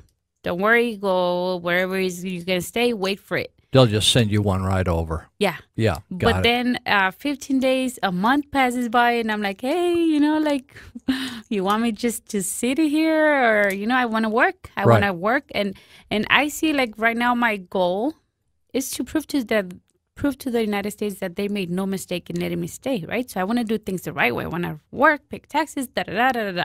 right. Get a Um, driver's license. Create a uh, make Like- a credit, do Right. what the regular citizen Everybody of the does. community does. Right. You know. Um. Okay. So now they say, okay, well, yeah, we're waiting for your work permit, and you Yeah. can't work until you get the work permit because then you'll be committing a crime. Right. So I look in the computer, see, well, this is my case number, da da da. Went two to five months, and I just checked like last Monday, Yeah. and it's two to five months of waiting period. Of course, I'm praying that it will be two, but Right. five months. right. Like I would assume that okay, you kick me out the door, you allow me to stay, then give me a paperwork so I can start working and doing the right thing. Then what do you want me to do? Just sit and be a burden, or you know, like I I see that wrong. I see that they should have allowed me to work already. And create a work permit right away. Yeah, Just wha- give it to you so you well, can go to work Well, and you already support you already let me go. Then Right. you- I would assume you have. So it's a bit it's a glitch in the system, right? Yes, So what are you going to do? End up home? They wonder how do these people end up homeless, right? yeah. How do these people end up doing something illegal? It's because they don't have no employer. uh, Employers breaking the law, right? If they Yes. hire you, Yes. Correct? Correct. and so they've created a situation that's impossible. Yes. Yeah. So, um, I mean, I'm waiting, you know, for Yeah. my work permit. So some of the requirements they place on you at this point, and again, people that are listening said, "Hey, she needs to just buck up and do whatever they tell her to do." So some of the requirements, though, are a little difficult. Like so, one one probation officer, they're not located here in Yuba Sutter area, right? No, um, one is in Sacramento, the other one is in Roseville. Roseville. So they say, "Hey, come down here." Like the first time you came, you went there, and the guy wasn't there, right? Yeah, So he said, "Come back Yeah. another day." So you don't have a car, right? of course. You don't have a driver's license. I You've never had a driver's license. never right? had a driver's license. You know how to drive. Oh yeah. Yeah, but but you've always driven in the United States with no license, like many illegals. Yes. Correct? Correct. Sure. No insurance, no license. No, I always had insurance. oh, you bought I insurance. always did. oh, you're very responsible. Always did. I even had like uh, the rental insurance because I rented a house and Yeah. I wanted my things insured. oh, there stuff. you go. You're sharp. Yeah. Okay, so but no license. They don't know who you are. So anyway, so here you are, and so have you ever? Maybe you can ask Homeland Security if anybody's ever thought through how a person's supposed to survive on waiting for six months, right? Yes, I, I already sent an email.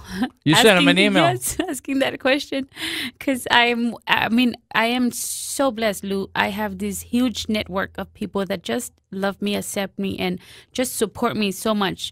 I. But what if I didn't? Yeah, I don't Then think you'd have made it. I don't think you'd have made it. Yeah.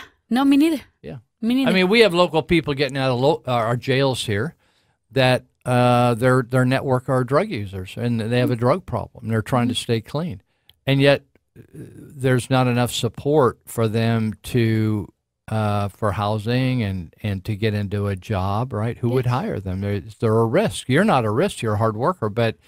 But most people look at a drug user; they can tell they're using. You know, you didn't. Let, that's a question that's not clear. We never talked about. Did you use? Were you using drugs? no. Yeah. So very different. Yeah. You, you've stayed clean from it. Yeah.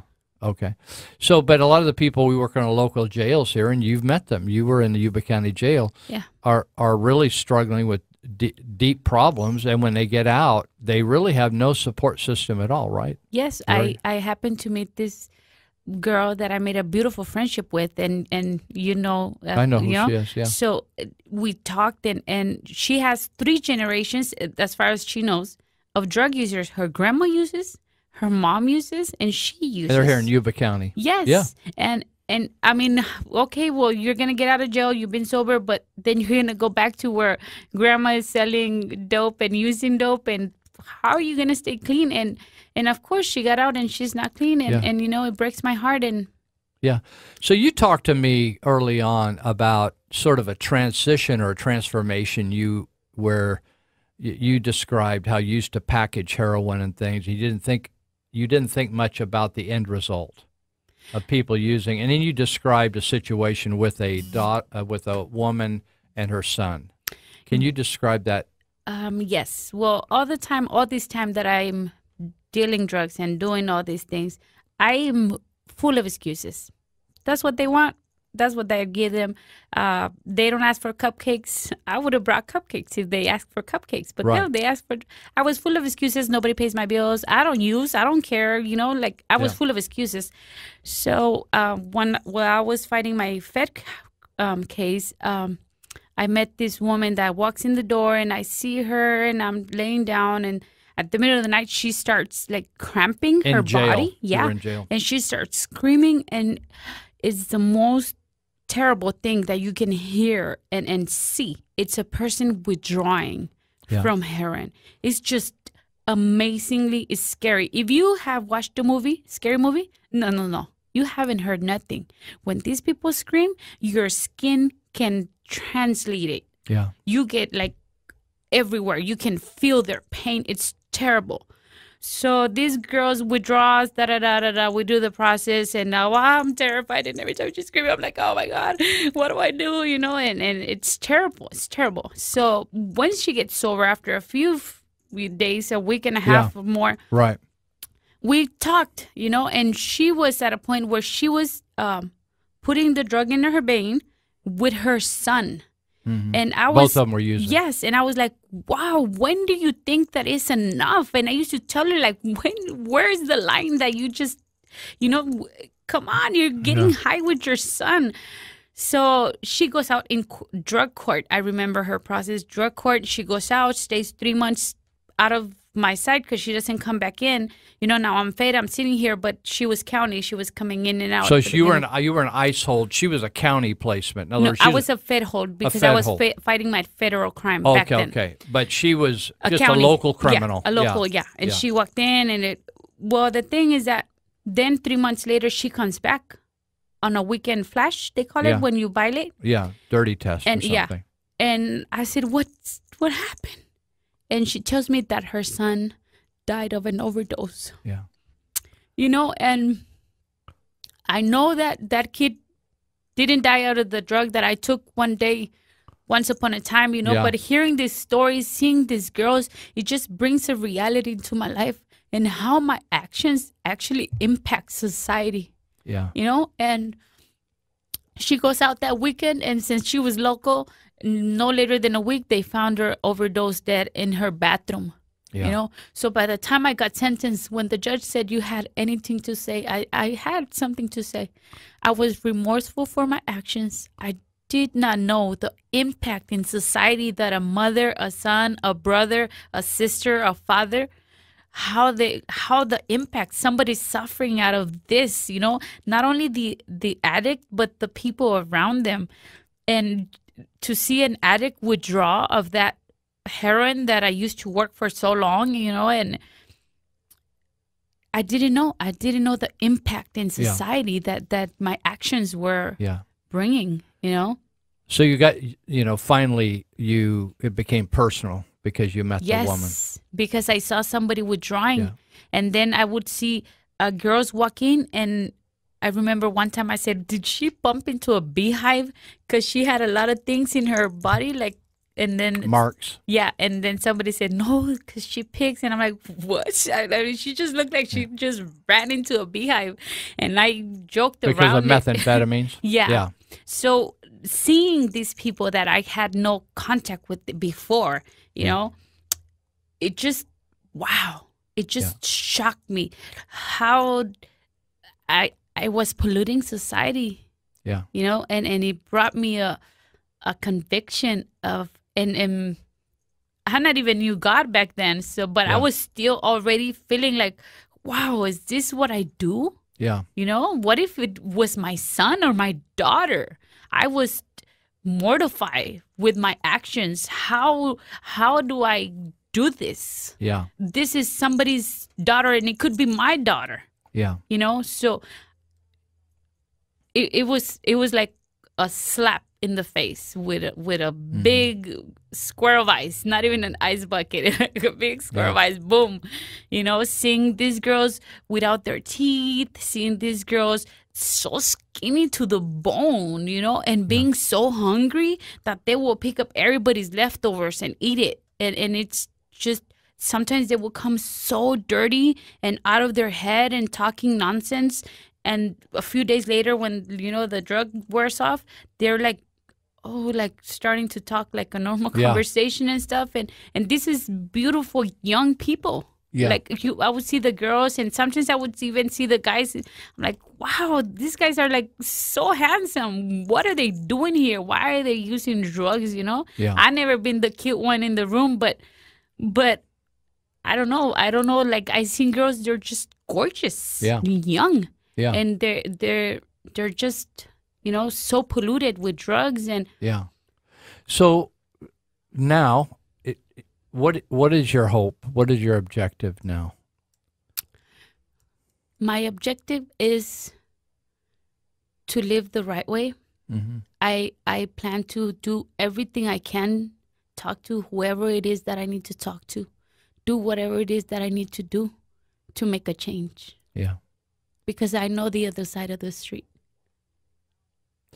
Are you gonna your family gonna move up here? That is that something that you think will work out?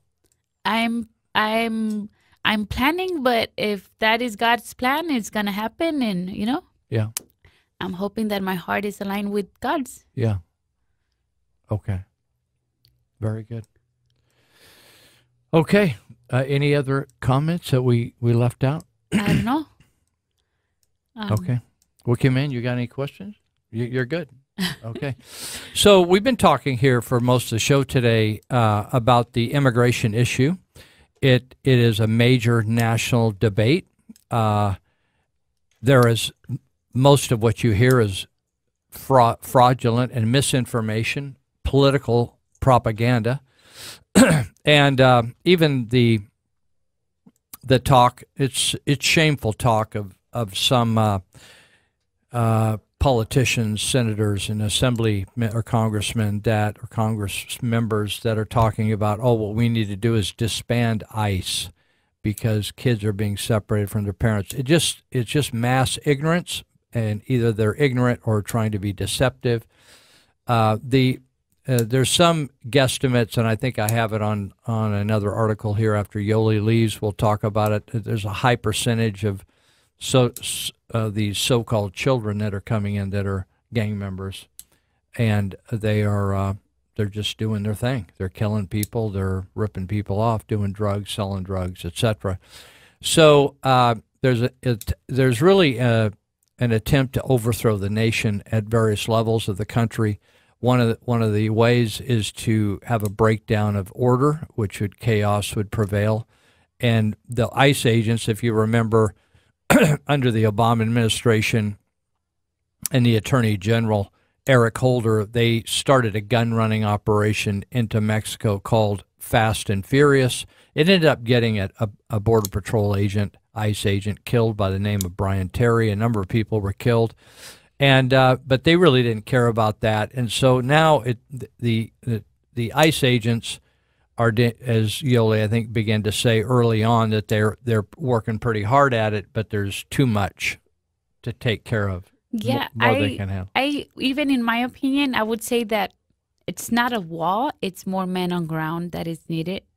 But yeah, so I think you brought that up one day when we were talking. Let's talk about that because Trump got got a lot of people's attention by saying we need to build a wall, but in the video that I played a couple weeks ago, that's exactly what the farmers said, the ranchers. He said, See this wall? Their holes were cut in it, right? People took like metal cutters yeah. and, and flipped it up and drove a vehicle right through it. Yes. And so so your point that more we need to hire more people? Right? If if you want to stop that, it's there's places where mother nature is going to be impossible for you guys to build a wall yeah. It's going to be like totally impossible, like stiff cliffs, and there's places where you're not going to be able to put a wall. Right. But if you have men on ground, because even in Tijuana, I think they're separated like about a mile trust and believe that like there's tons of areas where you can come through. It's open. Yeah. No so wall. if, if you no no it's not open. Yeah. It, there's a wall and there's, There's a a, fence. Okay, But, but the border no patrols people? are are separated like for about a mile. Not enough people. No, you. This one's turning that way. You're walking right next to him Yeah. because he can only do so much, Right. and he can only see so much. But if you had one looking this way and one looking this way, maybe that would help. You Yeah. Know? But they're like one officer per car, and and it's Too much. yeah Too it- much to do. They give them too much area for one person. So I don't know what you may have been locked up when this happened, but the president asked for the National National Guard to come to the border to beef up the men. And the governor of California was really reluctant, and I don't know whether he. Do you know whether they pulled the? Did California pull out their National Guard? S- some of the uh, the National Guard did go down there uh, for California's sake, but each there's the National Guard or military people. Each state has them, but some states refuse to cooperate with the president. What you would say is we need them, right? We need more people on the border. Yeah, if you want to stop all this pollution that is going on, yes. And and the thing is that you have to know that every time the United States busts something, like they busted um, the, you know, now they X-ray the cars. Yes. Well, me personally, I was long time ago, a very long time ago, very long time ago, they were opening the coolers, the ice coolers, and they were putting drugs in between. That was a long time ago. The ice coolers. What do you mean? Yeah, like you go, you the where you put ice and and uh, Ice sodas. chest. Yeah, those ice ones. chest. Yeah. Uh, so that was like long time ago. I was so young when that was like the thing, you know. But then on 2015, 14, uh, they busted one car that had like a special compartment, and I said, "Well, the X-ray is getting really good at the border." Guess what? I just brought back the coolers. Open the coolers, put the dope in between the walls, seal it back up. You mean the the ice- wall the wall of the plastic or whatever? Yeah. You inside you put the dope Yeah. inside you that. take because it, it has like a little foam thing. yes. So you scrape that off and you put the line up the kilos, foam Yeah. it up back again, put it back together, put some ice, a few fishes, put some fishing poles on the back of the truck, just bring it right over. Got it. So every time there's one thing busted, Yes. They you, they make somebody's coming up with, with a new, new, idea. one, you know, and and and you'd be surprised how much drug comes in through the San Ysidro port of entry and Yeah. the Otay. Like They say that 100,000 cars go through there every day. Essentially, a city moves through there every single day. yeah, Yeah. Just in, and they may not all be transporting no. drugs, but you have to think of think through every car, right? and the thing is like let's say per boss let's say per clan Yes. maybe they're putting around eight cars a day Eight cars Mm-hmm. in that whole deal per per uh, cartel or group per, per group group per in the group cartel. yeah Yeah. yeah so like so, Smugglers. so, so from different clan Uh huh. Mm-hmm. Okay. so let's say it could come with 40 pounds or it could come with two it, it don't matter the, the Yeah. thing is that It's this amount of cars uh, yeah Yeah. So the film I showed or I played the audio for a couple weeks ago, they they interviewed some border people and they just pointed to the ocean. They said they're flying it in. They're they're going through the ocean. i used to come through the water too Yeah. I'm a mermaid in those waters So you were going you were swimming? yes Yeah. i would well, just they, they were talking about bo- boats that went so far out that they needed ships to go out there and check them out. Yeah, But- or you or drop the, them. the tunnels. you drop them with the androids. Yeah. You fly them with an android, and it's low enough so a radar won't get it, but it's high enough so the eye won't see it. And you it, you need an iPhone for that, Yeah. and um, you fly it and you drop it, and somebody picks it up, and there's right. tons of ways. Yeah. you know. All right, we're going to take a break. I think we have an hour to go, but uh, Yoli is going to hit the road, and so thank you so much for coming in. we Thank you appreciate. having me. Yeah, you did a great job. We Thank appreciate you. it. Okay.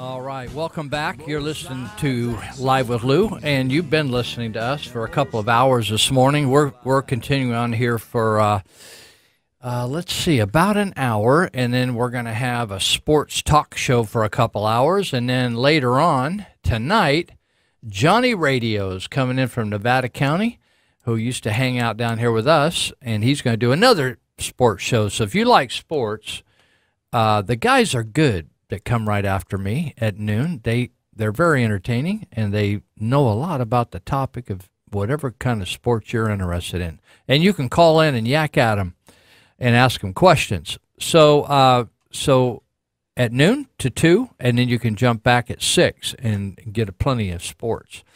Well, we were talking most of the day today, which we uh, did quite differently. We normally don't do a lot of interviews.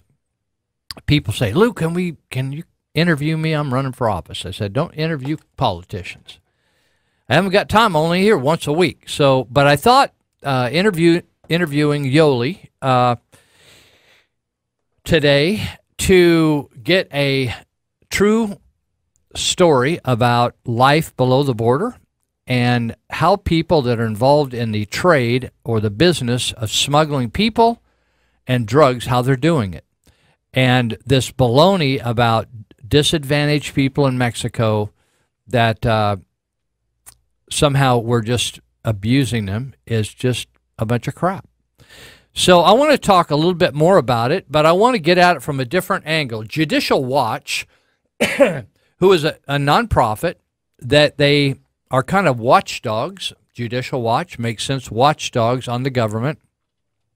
They file a lot of Freedom of Information Act documents to, they want to look at the actual reports and documents that government creates to give us an idea what's going on. And uh, so they uh, requested a report from Health and Human Services and that revealed that unaccompanied alien children processed during the Obama years included violent criminals, drug smugglers, and human traffickers. The report they got included 1,000 significant incident reports uh, revealing uh, unaccompanied alien children, UACs, they called them, admitting to murdering for the cartels. These are children, supposedly, that are UAC refugees, unaccompanied children. These are what we call euphemisms. Refugees admitted to murdering for the cartel, prostitution, and sexual pred- predation. Now, that's one thing that I didn't ask Yoli about, but I have articles that talk about. In fact, we played a clip a couple weeks ago about a tree on this farmer's, on this rancher's property called the rape tree. And the smugglers would rape the women that they were bringing across, uh, threatening them that if they didn't give them sex, they would kill them or do something else with them, turn them in.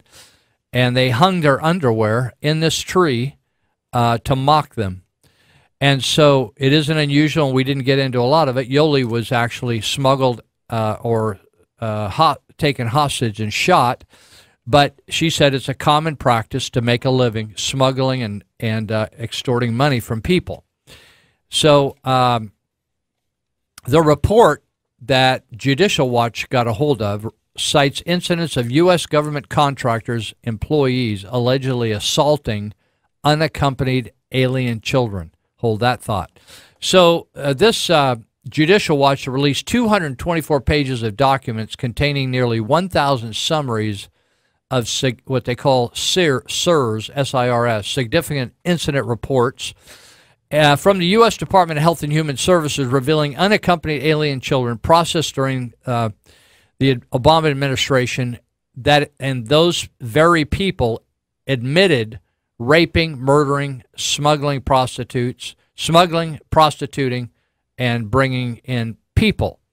So I, just want to give you a flavor of this because what's being portrayed by the liberal media, or the, what Donald Trump has coined the phrase fake media, is uh, totally deceptive. In fact, I've been at, at uh, social gatherings where people are all up in arms. Oh my God, can you believe what they're doing at the border to those poor children? If they only knew, if they only knew. So all they have to do is go over to the local juvenile hall to meet some murderers and uh, people that have been in gang activity, but the MS 13 people, it's interesting when it's one thing when we have American citizens that have run off the tracks and you're trying to get them back on the tracks socially. It's another thing when we're opening the borders to people that do it for, for a living. Hold that thought.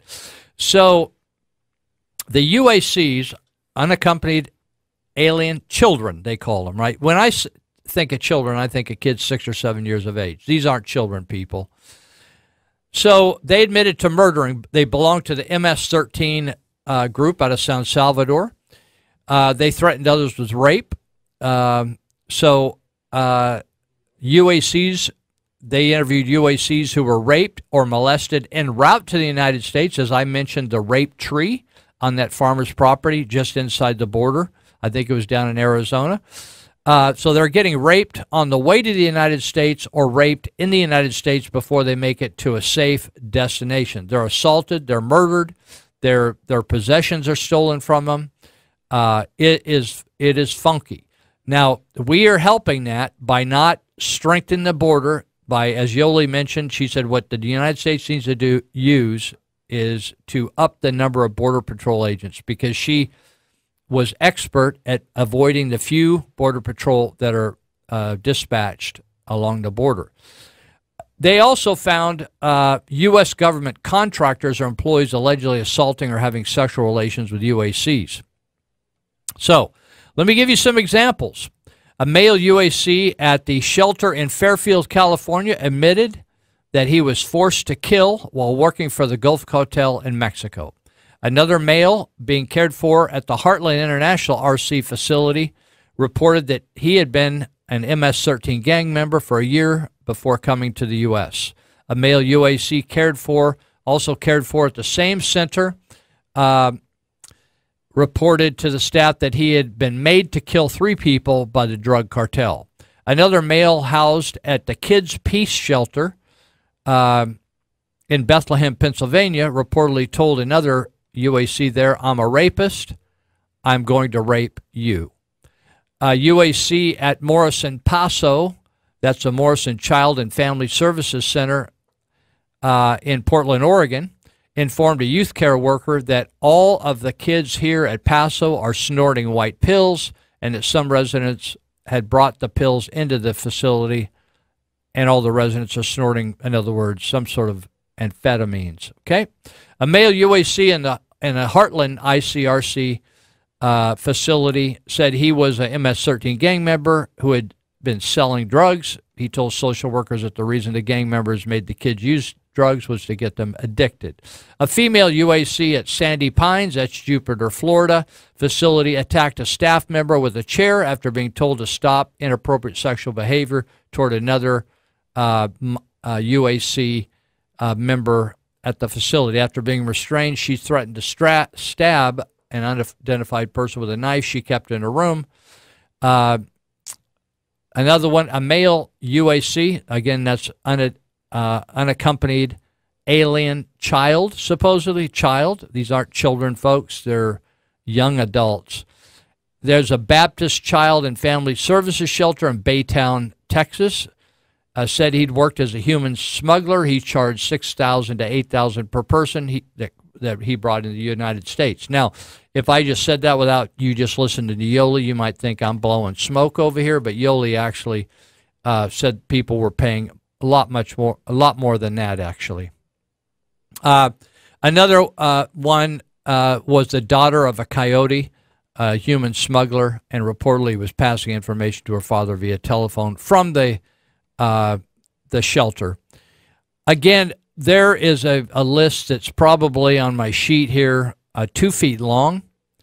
Uh, that is, it's gnarly. It's just gnarly, and it's people.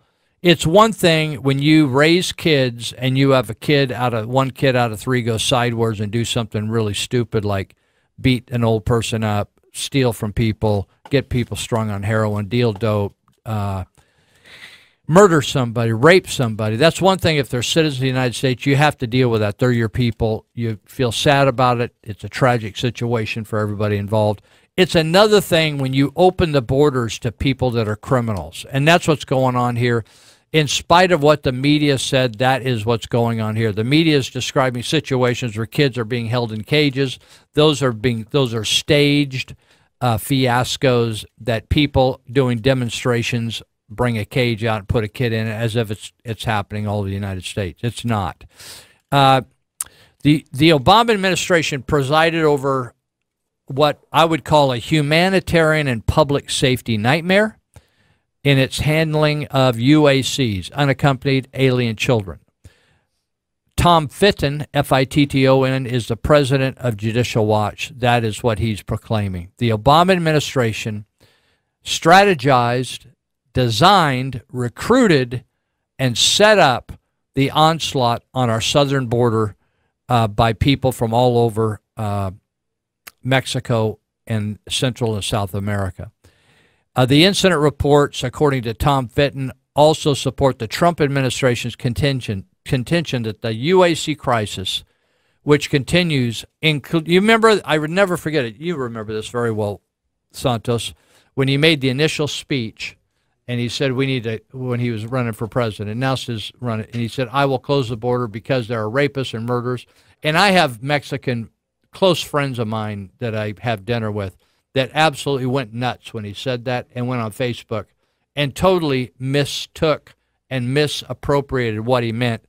But Tom Fitton, who has the documents from the the Health and Human Services from the years under the Obama administration, is saying the incident reports support the Trump administration's belief and contention that this crisis, which continues today, includes murderers, rapists, drug smugglers, and human traffickers being routinely allowed into the United States. Yoli, who I got to know um, through the Yuba County Jail, and then uh, when she was released into the United States uh, under her protection, uh, she has uh, been talks with her has has been an eye opener, confirming what the Trump government is saying is the truth. So we're getting a person that's on the ground who made a living at this, made a great living at it. She had very nice cars. She had the nicest things you would want uh, living in the United States once she got settled and learned the English language. And she lived quite the life until she was arrested for tra- uh, transporting drugs.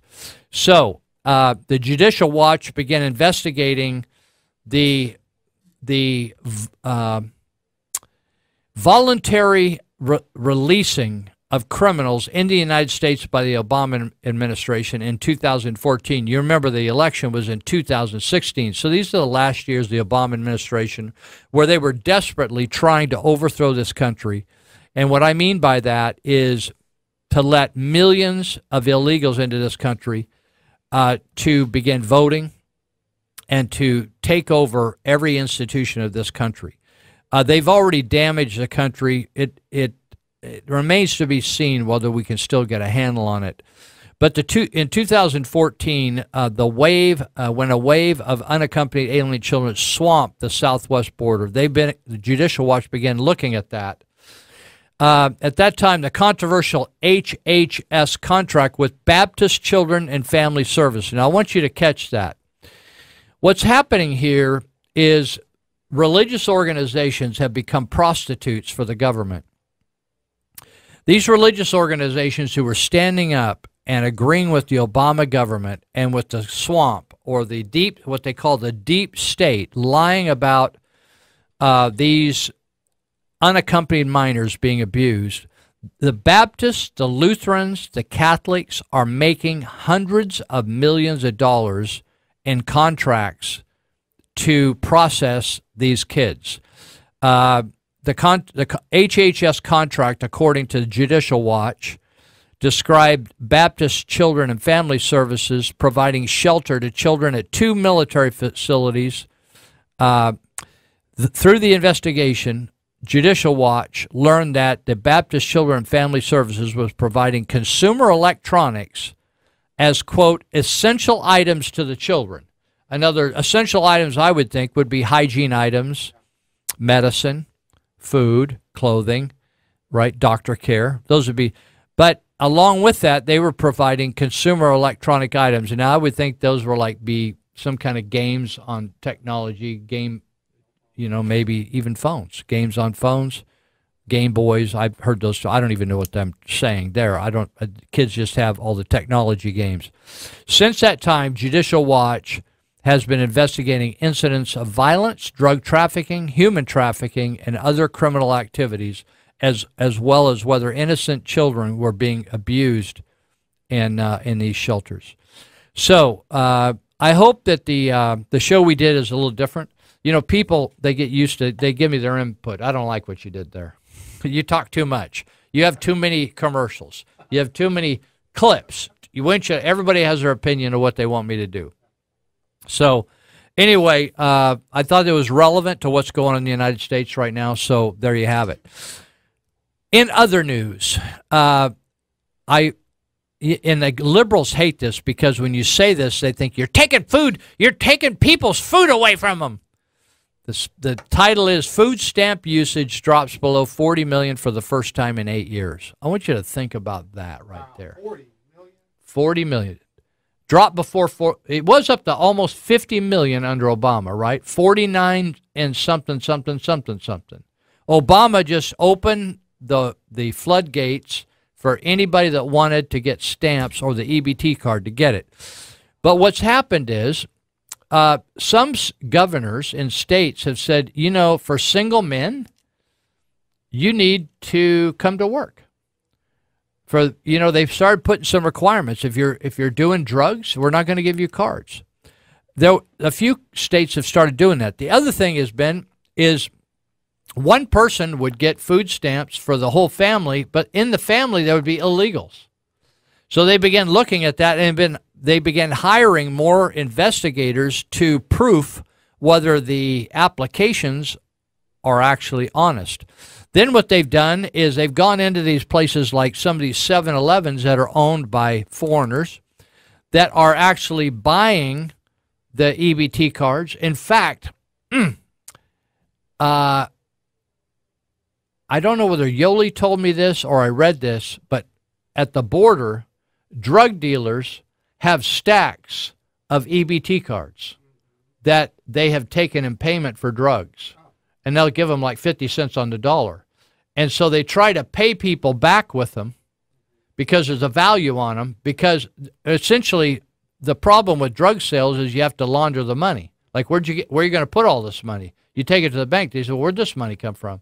right? So you end up with EBT cards because you have drug addicts turn it over EBT cards, and instead of like if there's five hundred dollars on there, they'll only give you hundred dollars or two hundred dollars of drugs for the card. Well, you end up with a five hundred dollar card, right? So, uh, so there's all this corruption. So all of a sudden, illegals have dropped off the food stamp system, and people have been dropping off because they were thinking that the government would track them and catch them and then file a case against them, then they would deport them, right? Not a catch and release. If they've been up here for a while, they'll have to serve their time, then they'll deport them. So the other thing that's going on is that a lot of people are just going to work because there's good jobs out there. And uh, it's like my friend that just got a job at uh, Monty Hecker at Elite Universal Security, dispatching. Uh, I'm sure uh, she's not going to be getting as much. She may get some food stamps starting out, but she's not going to get as much because she's going to be earning some money. So the USDA data. Now you might think, what's the U, uh, United States uh, Department of Agriculture have to do with food stamps? Well, oddly enough, instead of food stamps being under Health and Human Services and with welfare, they got it under the farm, the farm bills. It's always very deceptive. So the USDA said that 39 under it's under uh, just almost 40,000. Uh, it dropped below 40,000 were enrolled in supplemental nutrition assistance program SNAP. And they administer the food stamps, what we used to call stamps, but now they're an EBT card and electronic benefit uh, transfer, right? So you just you just empty it and then a miracle happens. Shazam at a certain time of the month, it just it just got gets fat again. It inflates again. And uh, so that's April 2018. The last time enrollment dipped below 40 million was in February 2010. Isn't that amazing? Right before Obama took over, I think. So we're going to take a break, right? Do I have time to get a cup of coffee, or we're going to go right into? Okay, we're going to. Okay, we're going to break. Somebody else is going to talk here for a minute.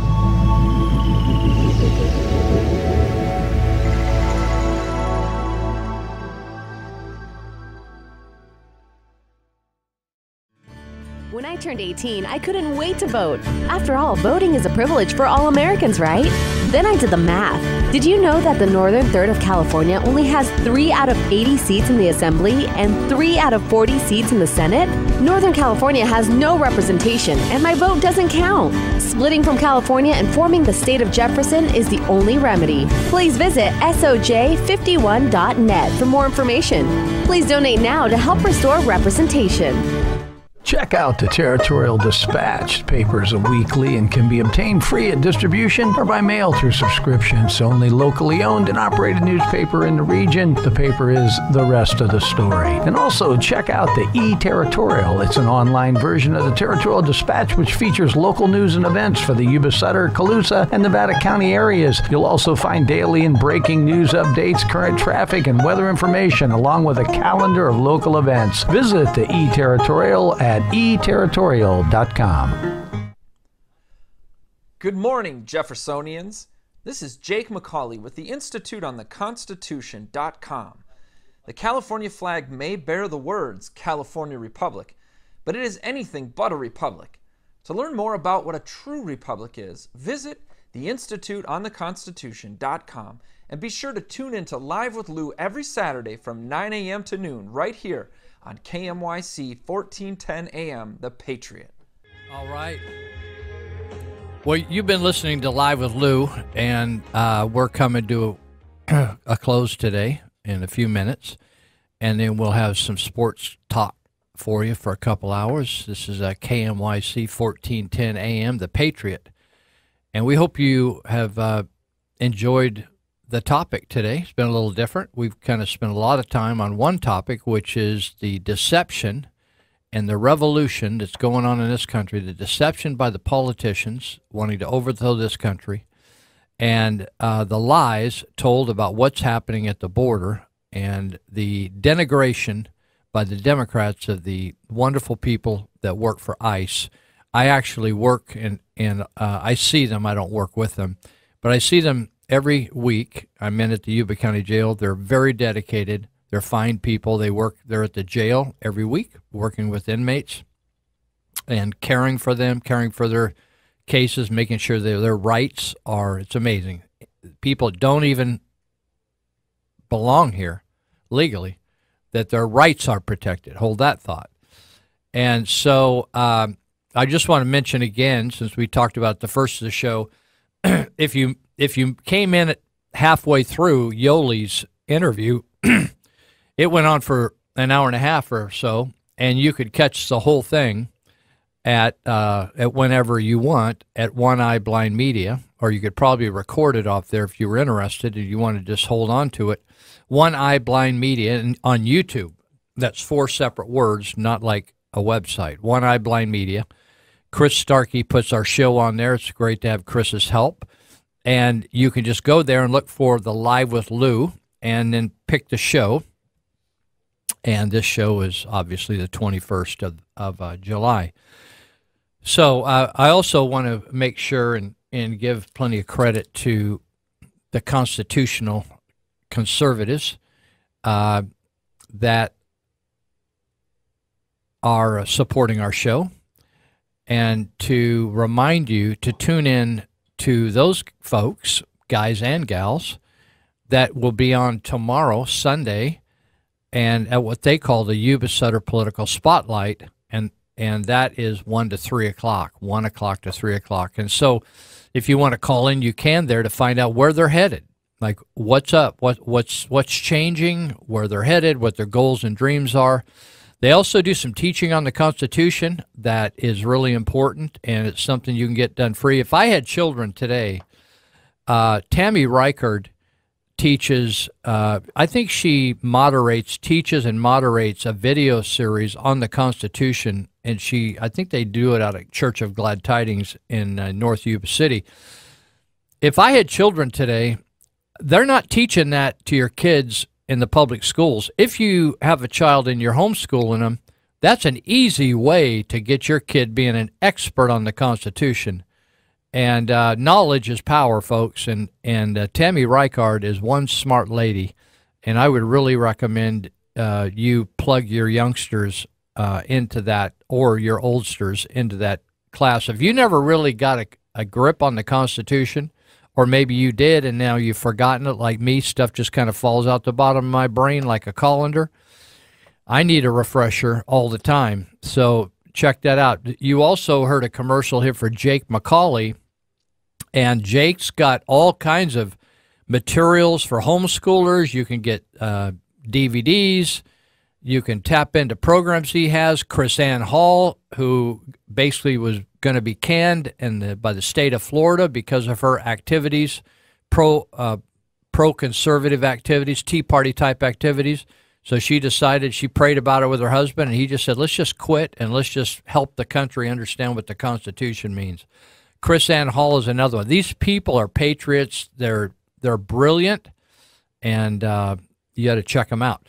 The, so thank you to the uh, Yuba Sutter Constitutional Republicans, or we also call them the Sutter Butte Tea Party Patriots. Also, I want to mention again Elite Universal Security uh, out in uh, Yuba County and if you need some protection, or somebody keeps stealing your stuff or vandalizing your stuff, or you can't figure out how to figure out how you can't figure out what's going on in in around your business, you keep losing stuff, missing stuff. People are like pilfering stuff.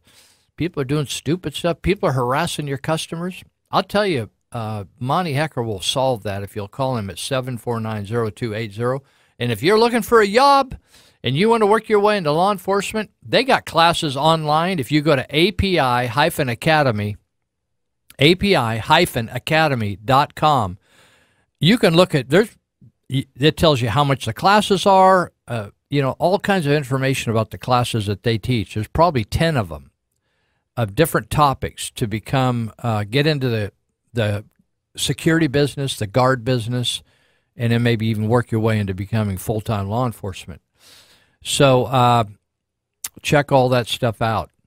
I wanted to we we got oh we got 15 minutes. Thank you, Jesus. Come on, we're going to get into this. I want to talk about. I I'm just totally confused, and uh, you know, I always say you you know liberal will tell you it's raining. He'll be pissing on your boots.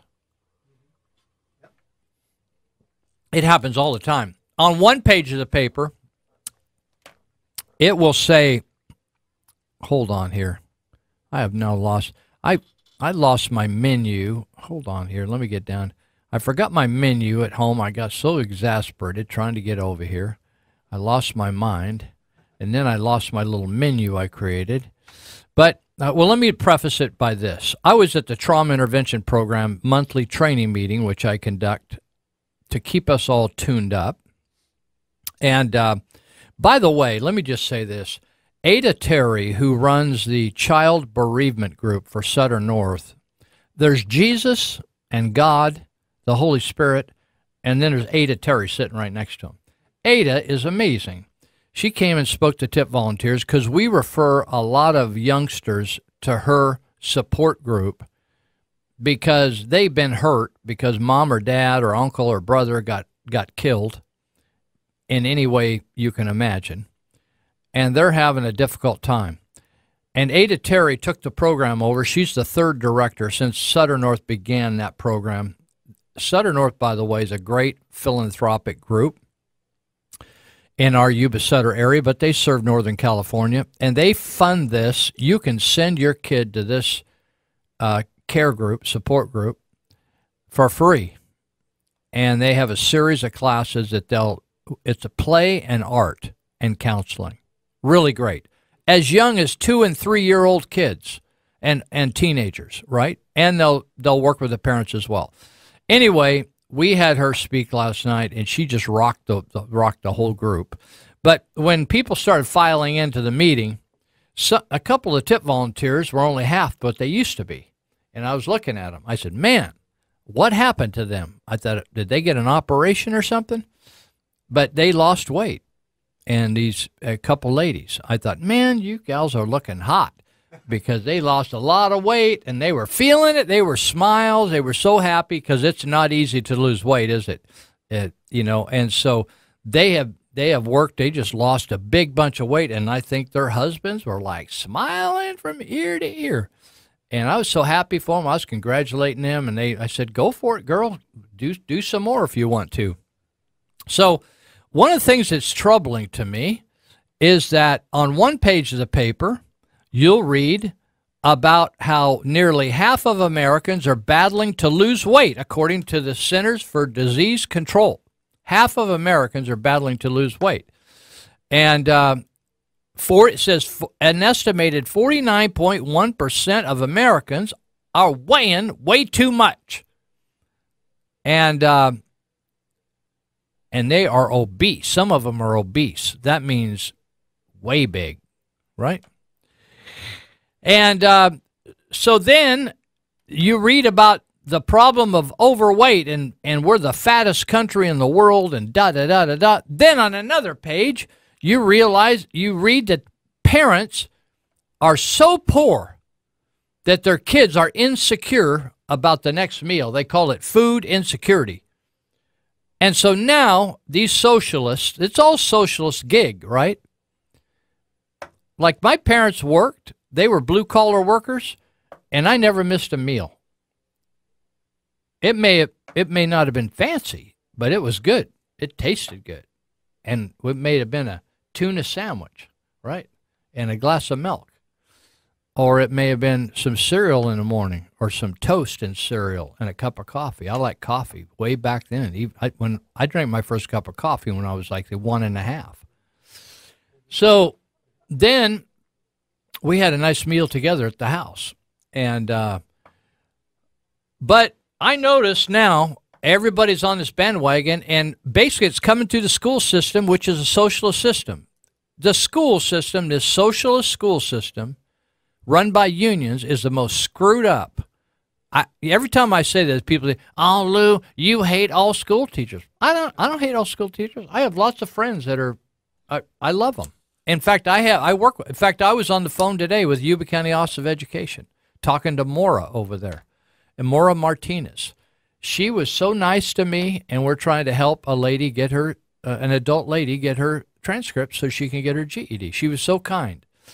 And so I am not against, there's some wonderful people teaching in the school system because they want to teach kids and and the government has a it's got a monopoly on the school kids.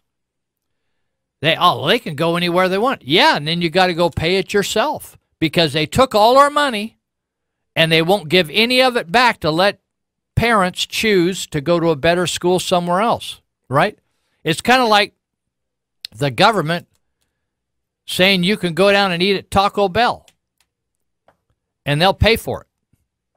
And you say, Well, I don't really care for Taco Bell. So they say, Screw you. They said, Well, can I just take the money you paid for me at Taco Bell to buy, buy me lunch and go to McDonald's? No, you can't go to McDonald's. You can't have choice. We believe in this country that Taco Bell is is the righteous food to eat.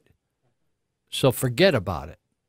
And don't try to ruin it because you're just anti government if you don't want to eat at Taco Bell. That's the same thing as forcing you. They take your money, they give it to teachers unions and schools, and they force your kids to go. If in fact, if you don't go to Taco Bell, if they're if the government's running Taco Bell, then they say we'll we'll cite you and arrest you. It's a misdemeanor. That's what they do to school kids. You know, the kid doesn't want to go to school.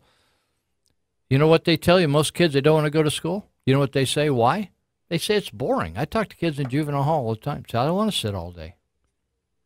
In fact, I got a kid in even in Vietnam, young girl I'm helping. She said, Lou, I just want to go to work.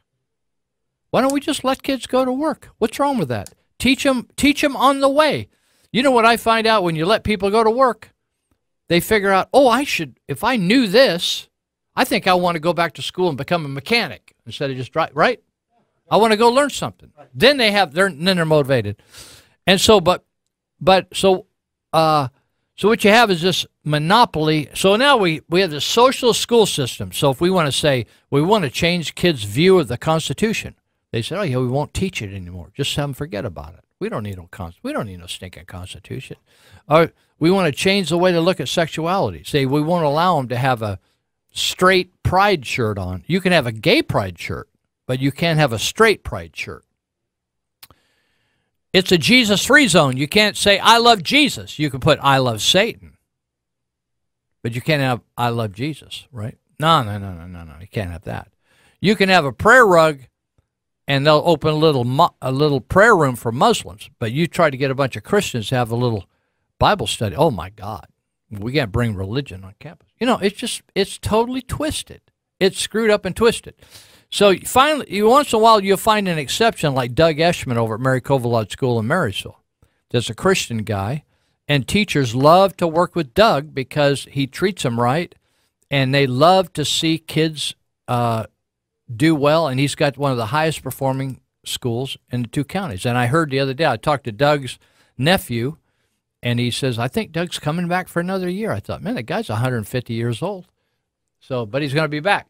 So I notice in the paper, uh, July 10th, and it lists all the places that will feed your kids if you don't want to feed them. So here's what they, and this is such a bunch of crap that they print and put in the paper. Now, again, the Appeal-Democrat didn't come up with the pitch. That would be the people that are feeding, that they're deciding that kids are so screwed up and the parents are so screwed up that parents could not be trusted to properly feed their kids enough each day. I mean, we are so struggling in this country. You know, honestly, people need to fly to a third world country if they want to see struggles. There is food everywhere in this country. Be, you, you, I see most kids, they're fat. Fat, fat, fat, fat, fat. They got rolls on their arms, right? We got kids, the little kids are so fat they got diabetes. And so on one hand, we got fat kids.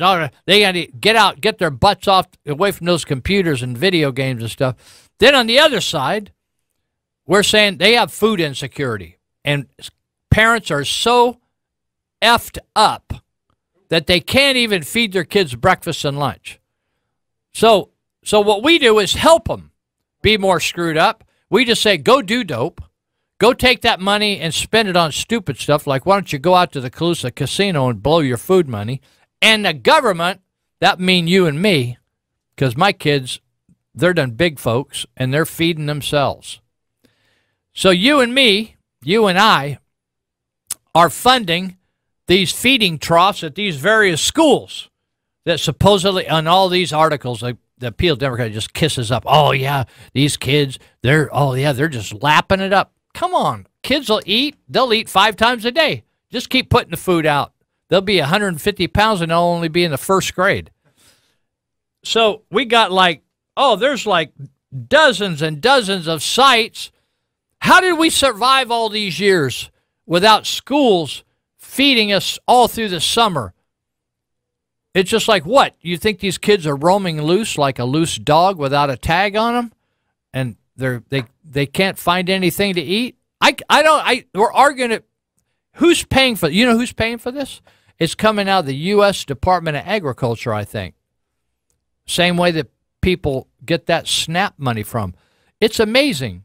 We don't think parents can do jack diddly. All we can think that they can screw each other and produce one.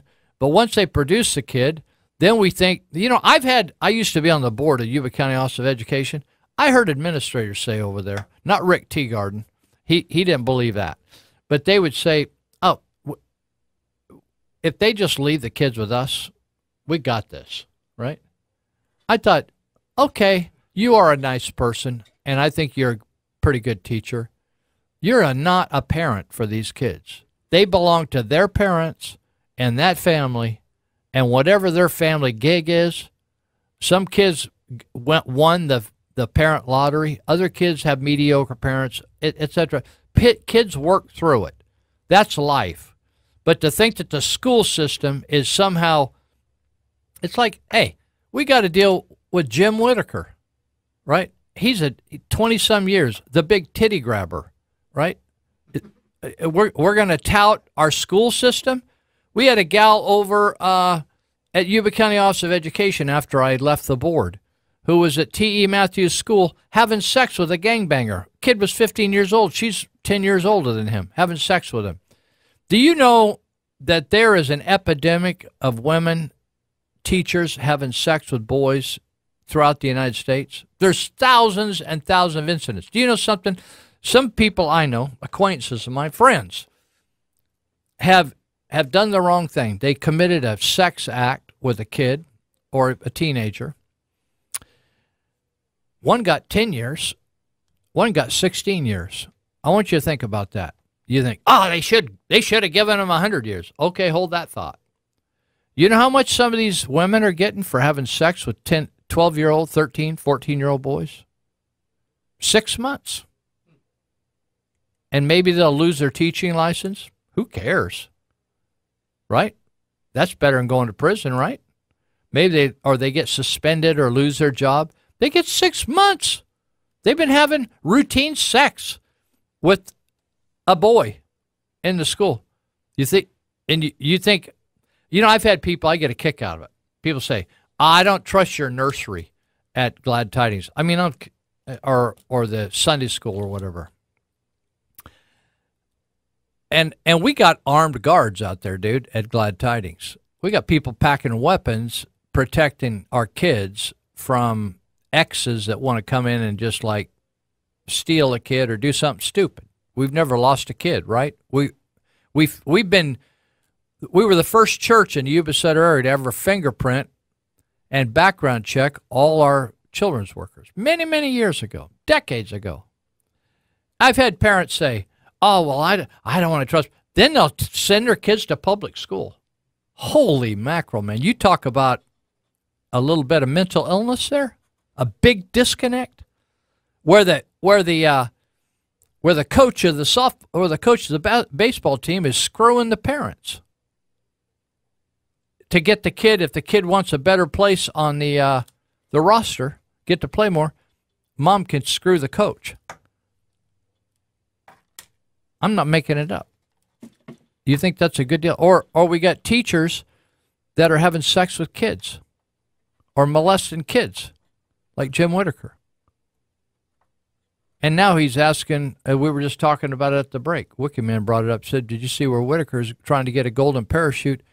And it, it's like, bless me because of the great job I did. See, the unions, if you're still breathing, you can be a child molester, throat cutter, and they'll be kicking you down the money because they're the unions. You think that's good for our society, by the way?